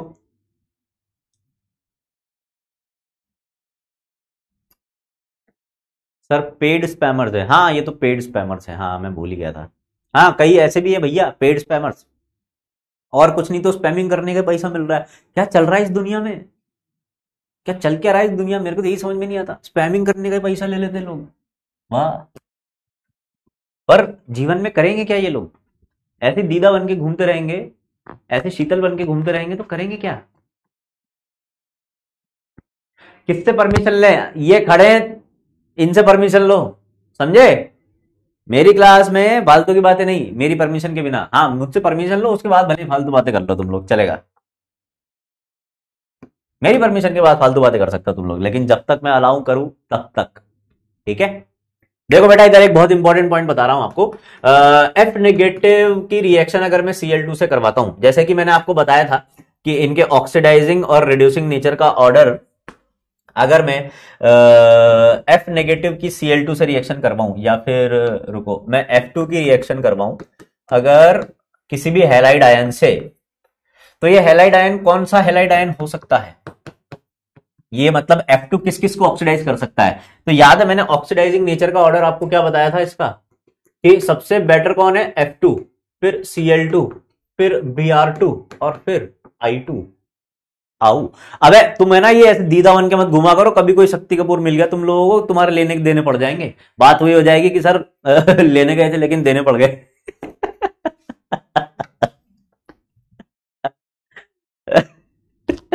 लिखो इधर। और रिड्यूसिंग नेचर अगर अपन बात करें तो F negative C L negative B R negative और आई नेगेटिव ये ऑर्डर पड़ा था अपन ने, ठीक है? तो बेटा, देखो, इसको वहाँ से रिलेट कैसे कर सकते हैं अपन? F2 क्योंकि सबसे अच्छा ऑक्सीडाइजिंग एजेंट है तो ये Cl नेगेटिव Br नेगेटिव और I नेगेटिव सबको ऑक्सीडाइज कर सकता है। है ना? सबको ऑक्सीडाइज कर सकता है। ओ माय गॉड ये क्या खुल गया? ये सबको ऑक्सीडाइज कर सकता है। मैं जब विद्यापीठ में था ना, मैं इसका बड़ा यूज़ करता था, पता है, इस वाले पेन का। जैसे कि अगर मैं सी एल टू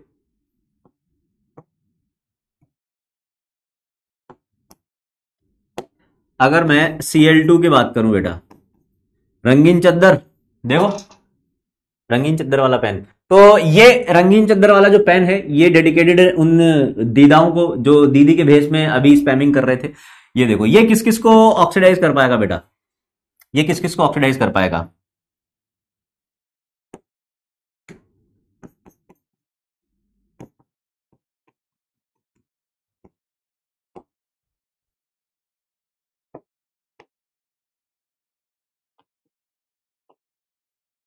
ठीक है? और अगर मैं बात करूँ तो इधर जो x है, वो तो सिर्फ़ आई नेगेटिव हो सकता है तो अपन सीधे इसको आई टू लिख देते हैं। और पी आर नेगेटिव लिख देते हैं। कैसा लग रहा है बेटा रंगीन चद्दर देखने में?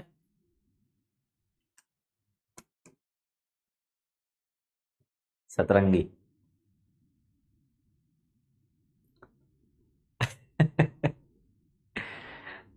लिखा हुआ नज़र आ रहा है, समझ में आ रहा है? क्या लिखा हुआ है?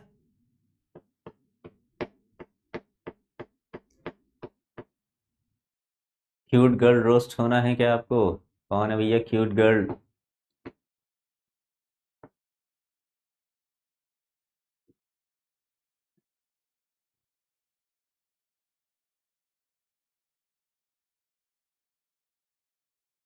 है ना? तो बेटा याद रखना, आपसे क्वेश्चन ऐसे पूछा जा सकता है which of the following reaction is not possible तो उसमें आप देखो, इसको ऐसे याद रख सकते हो बेटा F two C L two B R two और आई टू और ऐसे इधर लिख लेना F negative C L negative B R negative और आई नेगेटिव आप ऐसे याद रखना बेटा, ऊपर वाला हेलोजन नीचे वाले हेलाइट को ऑक्सीडाइज कर सकता है। ऊपर वाला हेलोजन नीचे वाले हेलाइड को ऑक्सीडाइज कर सकता है। जैसे F2 अगर है तो वो नीचे वाले हेलाइड्स को मतलब इन तीनों को ऑक्सीडाइज कर सकता है। Cl2 नीचे वाले हेलाइड्स को मतलब इन दोनों को ऑक्सीडाइज कर सकता है। Br2 आई माइनस को ऑक्सीडाइज कर सकता है। इस तरीके से, है ना? ऊपर वाला हेलोजन नीचे वाले हेलाइड को ऑक्सीडाइज कर सकता है। ठीक है? ऐसे ही अगर आप उल्टा देखना चाहो मतलब आप हेलाइड्स के रिड्यूसिंग नेचर की बात अगर करो तो आप ऐसे बोल सकते हो कि नीचे वाला हेलाइड ऊपर वाले हेलोजन को रिड्यूस कर सकता है। जैसे कि I minus B R two I minus B R two F two और सी एल टू तीनों से रिएक्ट कर लेगा। B R minus B R minus C L two और एफ़ टू दोनों को रिड्यूस कर देगा, पर आई माइनस को रिड्यूस नहीं कर पाएगा। ऊपर वाला हेलोजन नीचे वाले हेलाइट को रिड्यूस कर सकता है।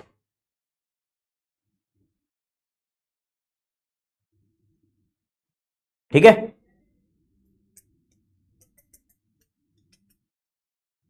ठीक है।